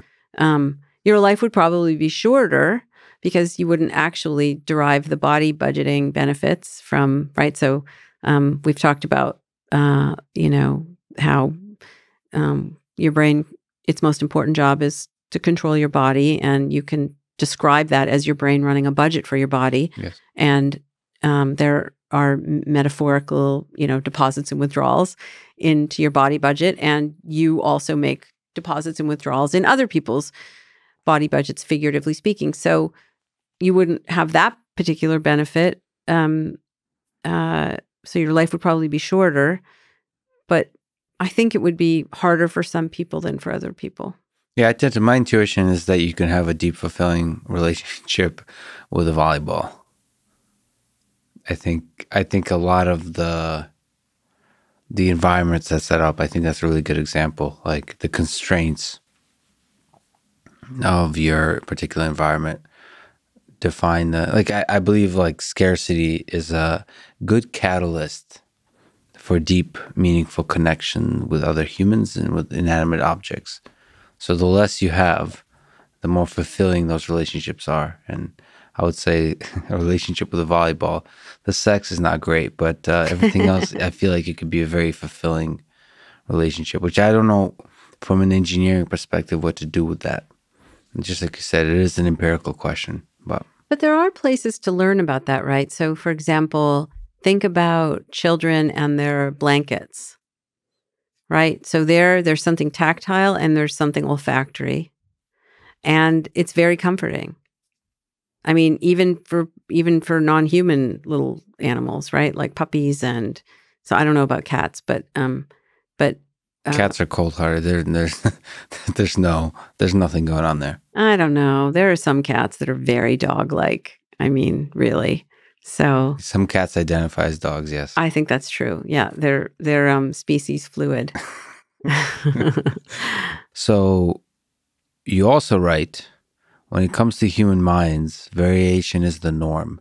And what we call, quote, human nature is really many human natures. Again, many questions I can ask here, but maybe an interesting one to ask is um, I often hear, you know, we often hear this idea of be yourself. Uh, is this possible to be yourself? Is it a good idea to strive to be yourself? Is it does that even have any meaning? It's a very Western question, first of all, because which self are you talking about? You don't have one self. There is no self that's an essence of you. You have multiple selves. Actually, there is research on this. Um, you know, to quote um, the uh, great social psychologist Hazel Markus, you're never, you cannot be a self by yourself. you, yeah. you know, you, and so different contexts pull for or or draw on different features of your of who you are or what you're what you believe what you feel what your actions are um uh, different contexts you know we'll put certain things or make more some features be more in the foreground and and some in the background. It's, it takes us back right to our discussion earlier about um, stalin and, and hitler and so on. The thing that i would caution in addition to the fact that there is no single self you know that you have multiple selves who you can be um and you can certainly choose the situations that you put yourself in to some extent. Not everybody has complete choice but everybody has a little bit of choice. And i think i said this to you before that one of the pieces of advice that we gave sophia you know when she went our daughter when she was going off to college was um try to spend time around people choose relationships that allow you to be your best self. We should have said your best selves, but um, the uh, this you know the pool of selves given the environment. Uh, yeah, but I, I the one thing I do want to say is that um, the risk of saying be yourself, just be yourself, is that um, that can be used as an excuse. Well, this is just the way that I am. I'm just like this, right. and um, that I I think should be tremendously resisted. So that's one. That's the that's for the excuse side. But you know, I'm really self-critical. Often, I'm full of doubt, and people often tell me, "Just don't worry about it. Just be yourself, man." And it's the thing is, uh, it almost it, it's not from an engineering perspective. Does not seem like actionable advice because uh, I guess constantly worrying about who, what are the right words to say to express how I'm feeling is, I guess, myself. There's there's a kind of line, I guess, that this might be a Western idea, but something that feels genuine and something that feels not genuine. And I'm not sure what that means because I would like to be fully genuine and fully open, but I'm also aware like this morning i was like very like silly and giddy. I, like i this is just being funny and, and, relaxed and light. Like there's nothing that could um, bother me in the world. I was just smiling and happy. And then i remember last night was just feeling like very grumpy. Like uh like stuff was bothering me. Like certain things were bothering me. And like the, the what are those? Are those a different selves? Like what who am i in that and what do I do? Because if you know, if we take Twitter as an example, if I actually send a tweet last night and a tweet this morning, it's going to be very two different people uh, uh, tweeting that, and I don't know what to do with that because one does seem to be more me than the other. But that's maybe because there's a narrative, a story that I'm trying. There's something I'm striving to be, like the ultimate human that I might become. I have maybe a vision of that, and I'm trying to become that. But it it does seem like there's a lot of different minds in there, and they're all like like having a discussion and a battle for who's going to win. I suppose you could think of it that way, but there's another way to think of it. I think, and that is that um, maybe the more Buddhist way to think of it, right? Or a more contemplative way to think about it, which is not that you have multiple personalities inside your head, but you have your brain has this um, amazing capacity. It it has a, a population of experiences that you've had that it can regenerate, reconstitute, and it can even take bits and pieces of those experiences and combine them into something new. Um, and it's often doing this to predict what's going to happen next and to plan your actions. But it's also happening, this also happens just.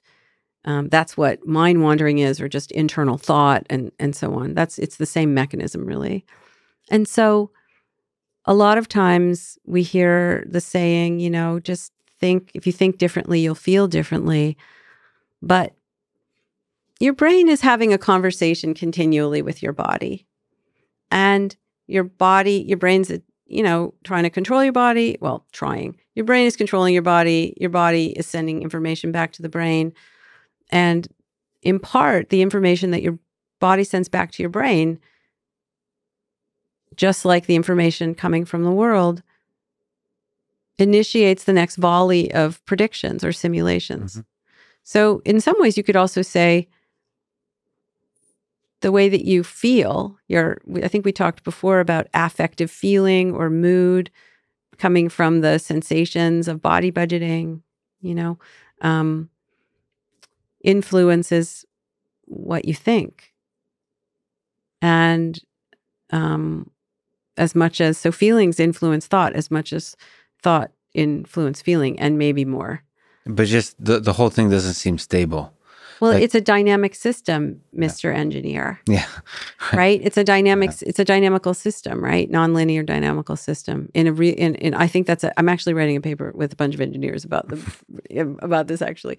But um I, I mean other people have talked about the brain as a dynamical system before, but you know, the real tricky bit is trying to figure out how do you get mental features out of that system. Mm. Like it's one thing to figure out how you get a motor movement out of that system. It's another thing to figure out how you get a mental feature, like a feeling of being loved or a feeling of being worthwhile or a feeling of you know just basically feeling like shit how do you get a feeling a mental fe- a me- mental features out of out of that system um so I w- what i would say is that you aren't the the buddhist thing to say is that you're not one person and you're not many people you are um, you are the sum of your experiences and who you are in any given moment, meaning what your actions will be, is influenced by the state of your body and the state of the world that you've put yourself in.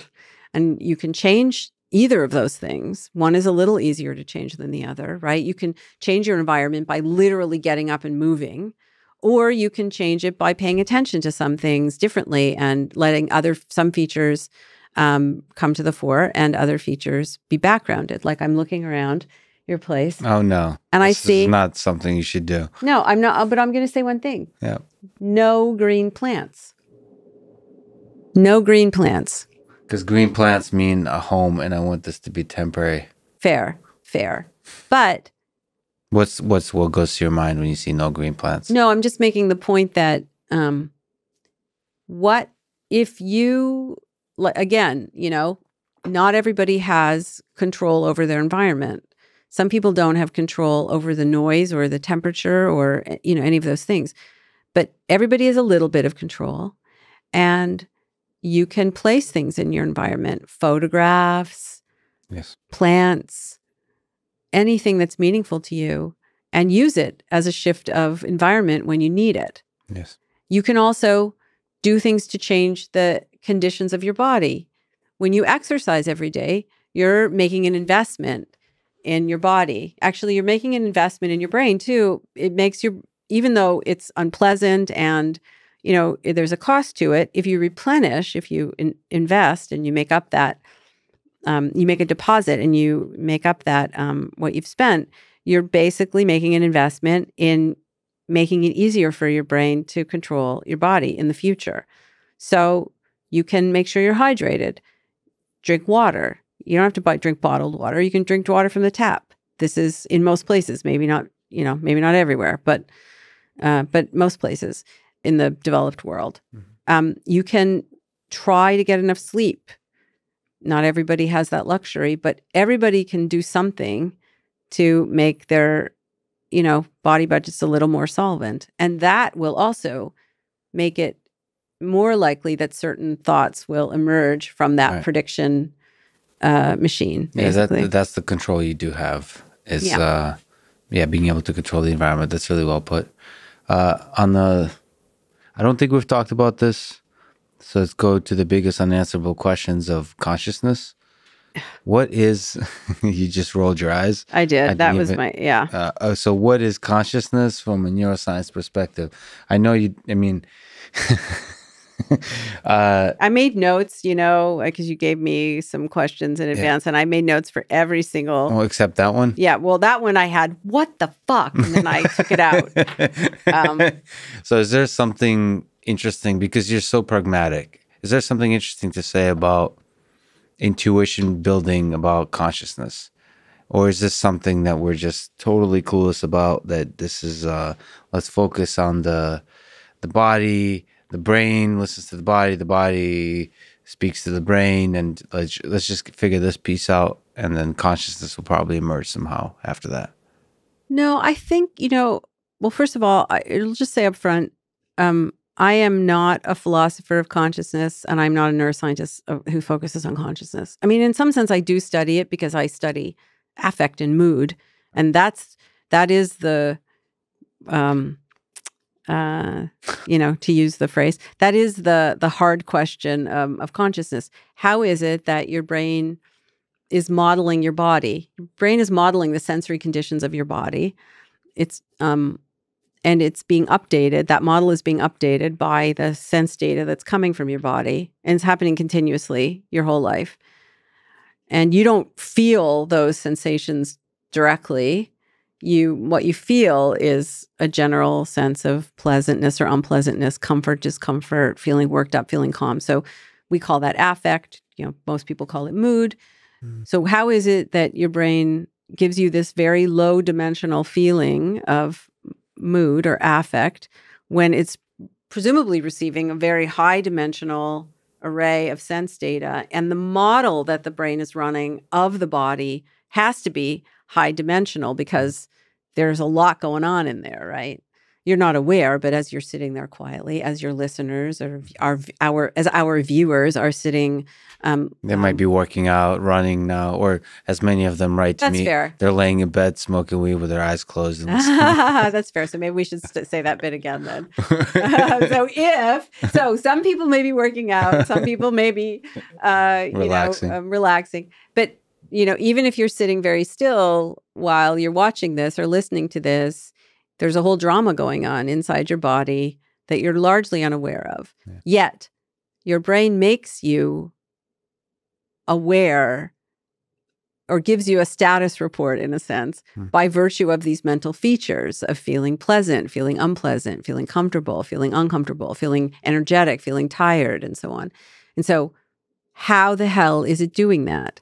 That is the basic question of of consciousness. and like the status reports seem to be, in the way we experience them, seem to be quite simple. Like, it doesn't feel like there's a lot of data. Yeah, no, that there isn't. So when you feel when you feel um discomfort, when you're feeling basically like shit, you feel Mhm. like shit. What does that tell you? Like, what are you supposed to do next? What caused it? I mean, the thing is, not one thing caused it, right? It's multiple factors probably influencing your physical state, your you body budget. It's very high dimensional. Yeah. It's very high dimensional um and that it, and the there are different temporal scales of influence right so um it you know the state of your gut is not just influenced by what you ate 5 minutes ago it's also what you ate a day ago and 2 days ago and and so on so um so i think the you know when i'm I'm not trying to weasel out of the question. I just think it's a it's the hardest question actually. Do you think we'll ever understand it? Um for, as, as scientists? I think that we will understand it as well as we understand other things like um, the birth of the universe or the you know the nature of the of the universe i guess I, I would say so i do i think we can get to that level of an explanation i do actually but i think that we have to start asking somewhat different questions and approaching the science somewhat differently than we have in the past. I mean, it's also possible that consciousness is much more difficult to understand than the nature of the universe. It is, but I, I wasn't necessarily saying that it was a, a question that was of equivalent complexity. I was saying that I do think that we could get to some. I I am optimistic that I I would not. I would be very willing to invest my the time my time on this earth as a scientist in trying to answer that question if I could do it the way that I want to do it, um, not the way that it's currently being done. So, like rigorously. I don't want to say unrigorously. I just want to say that there are certain set of assumptions that you know scientists have what I would call ontological commitments. They're commitments about the way the world is or the way that nature is. And they these commitments lead scientists sometimes blindly without they don't scientists sometimes sometimes scientists are aware of these commitments, but sometimes they're not. And these commitments on the nonetheless influence how scientists ask questions, how what they measure, how they measure. And I I just have very different views than a lot of my colleagues about how, the ways to approach this. Not everybody, but um, but the way that I would approach it would be different, and it would cost more, and it would take longer. It doesn't fit very well into the current incentive structure of science, and so. Do I think that doing science the way science is currently done with the budget that it currently has and the incentive structure that it currently has, will we have an answer? No, I think absolutely not. Good luck, is what I would say. people love book recommendations. Let me ask what three books? Oh, you can't just like you can't just give me three. I mean, like really three? What uh, seven and a half books you can recommend? so you're also the author of seven and a half lessons about the brain. You're uh, author of uh, how emotions are made. Okay. So definitely those are the top two recommendations of all the two greatest books of all time. Other than that, are there books that uh, technical fiction, philosophical, that you've enjoyed or you might recommend to others? Yes. Actually, you know, every PhD student when they um, when they graduate with their PhD, I give them a set, a, like a little library, like a set of books. You know, some of which they've already read, some of which I want them to read, or, um, but um, I think nonfiction books I would read. The things I would recommend are The Triple Helix um, by uh, Richard Lewontin. It's a little book mm-hmm. published um, in 2000, which is, um, I think, a really good introduction to complexity and um, population thinking as opposed to essentialism. So, this idea, essentialism is this idea that, you know, there's an essence to each person, whether it's a soul or your genes or what have you, as opposed to this idea that you we have the kind of nature that requires a nurture. We are a, we are you are the product of a complex dance between um, an environment, uh, between a set of genes and an environment um, that turned those genes on and off to produce your brain and your body and mm-hmm. really who you are at any given moment. It's a good um, title for that triple helix. So playing on the double helix where it's yeah. just the biology, it's bigger than the biology. Exactly. Um, it's a wonderful book. I've read it probably six or seven times throughout mm. the year. He has another book too, which is it's more. I think scientists would find it. I don't know. I loved it. It's called Biology as Ideology, and it really is all about. I wouldn't call it one of the best books of all time, but I I love the book because it really does point out, you know, that science science as it's currently practiced. I mean, the book was written in 1991, but it actually, I think, still holds that scientists, science as it currently practiced has a set of ontological commitments which are somewhat problematic. So the assumptions are limiting.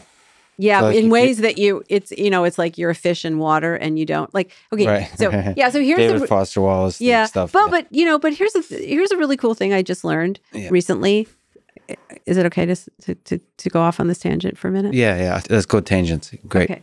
Um, I was just going to say that I just learned recently that we don't have water receptors on our skin. So how do you know when you're sweating? How do you know when when a raindrop when you know when it's going to rain and you know like a raindrop hits your skin and you can feel that little drop of wetness. Yeah. How is it that you feel that drop of wetness when we don't have water receptors in our skin?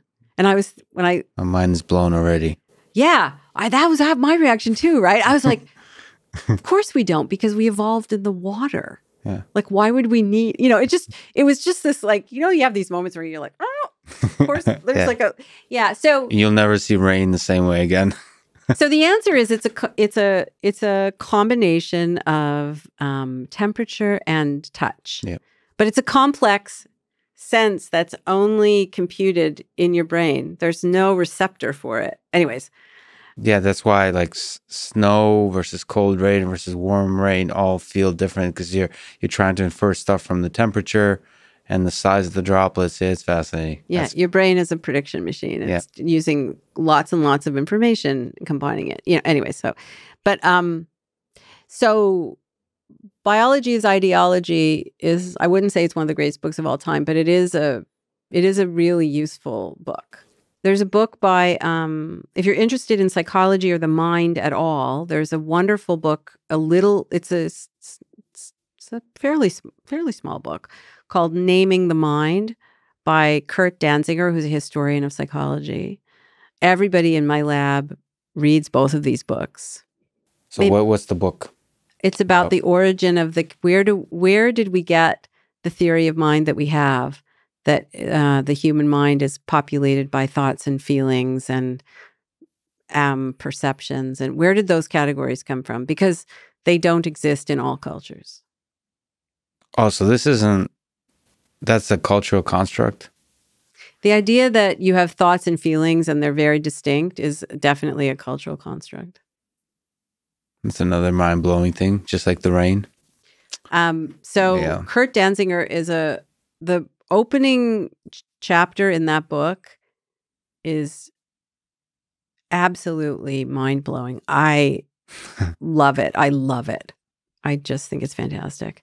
Um, and I would say that there are many, many popular science books that I could recommend that I think are extremely well written in their own way. You know, before I, I maybe I said this to you, but before I undertook writing How Emotions Are Made, um, I read, I don't know, somewhere on the order of 50 or 60 uh, popular science books to try to figure out how to write a popular science book. Hmm. Because while there are many books about writing, Stephen King has a great book On about writing. on writing and um, you know where he gives tips um, interlaced with his own personal history um, that was where i learned you write for a specific person you have a specific Hmm. person in mind and that's for me that person is my is dan That's fascinating. I mean, that's a whole nother conversation to have, like which popular science books, like what you learned from that uh, search.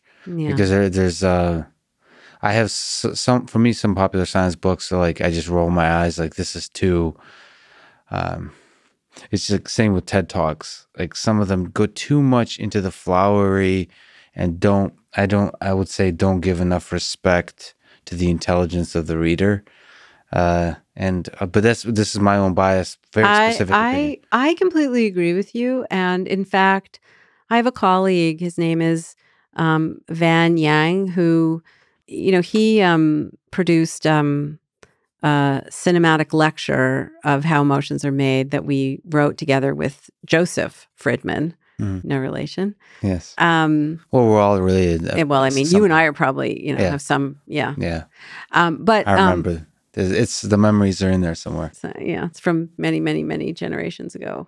Um, well, half my family is Russian, so from the good half the good half, right? um, but you know, he one his goal actually is to produce, um,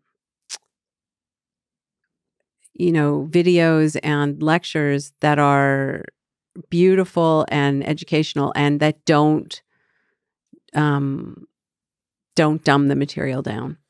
Um, and he's really remarkable at it, actually. I mean, just, uh, but again, you know, that's good. That that requires a bit of a paradigm shift. We could have a whole conversation about the split between entertainment and education in this country and why it is the way it is. But that's a that's another conversation to be continued. But I would say the if I were to pick one book that I think is a really good example of good science writing, it would be The Beak of the Finch which won a it won a, a Pulitzer Prize a number of years ago, and I'm not I'm the I'm not remembering the author's name. I'm blanking. Um, but the I'm guessing is it uh, is it focusing on birds and the evolution of birds?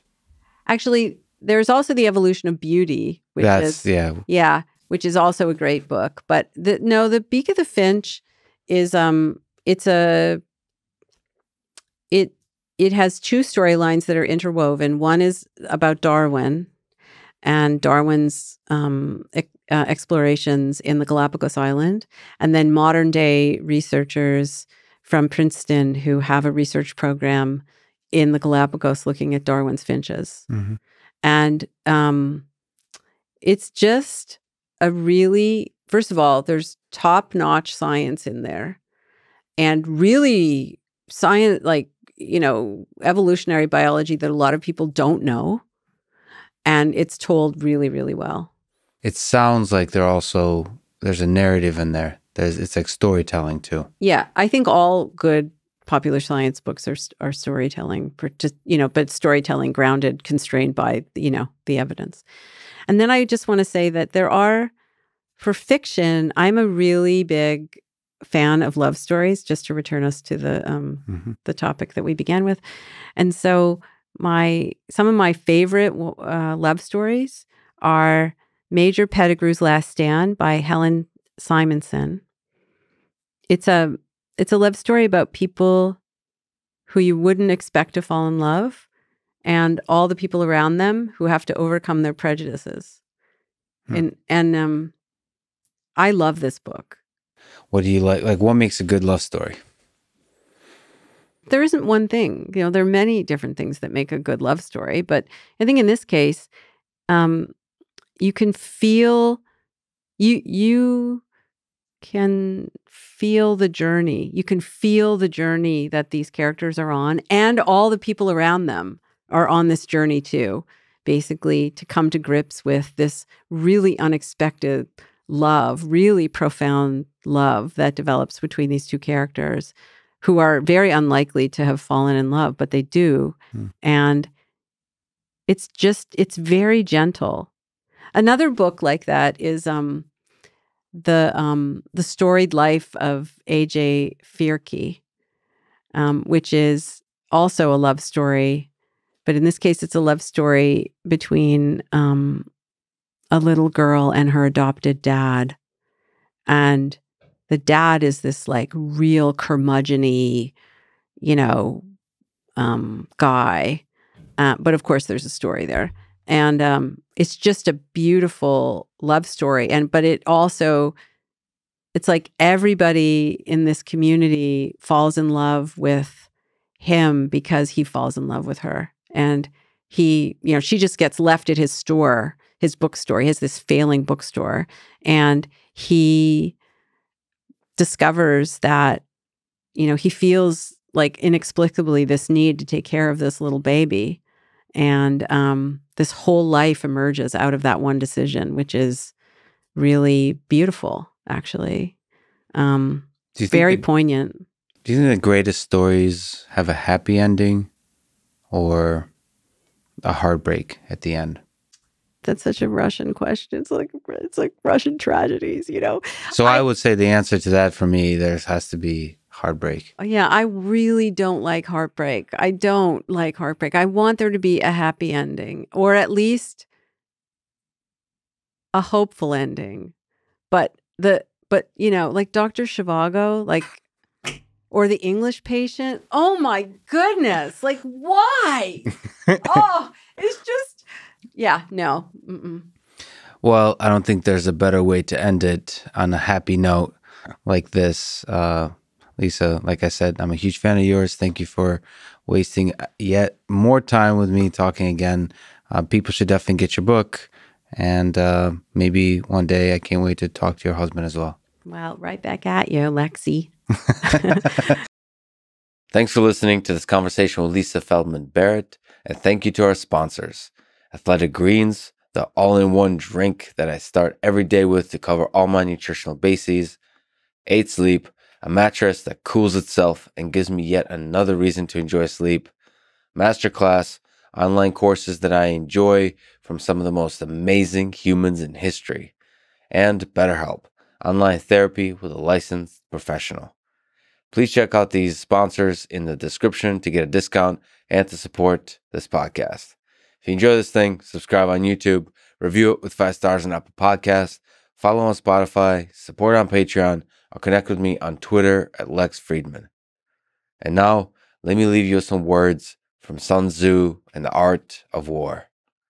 There are not more than five musical notes, yet the combination of these five give rise to more melodies that can ever be heard. There are not more than five primary colors, yet in combination they produce more hues than can ever be seen.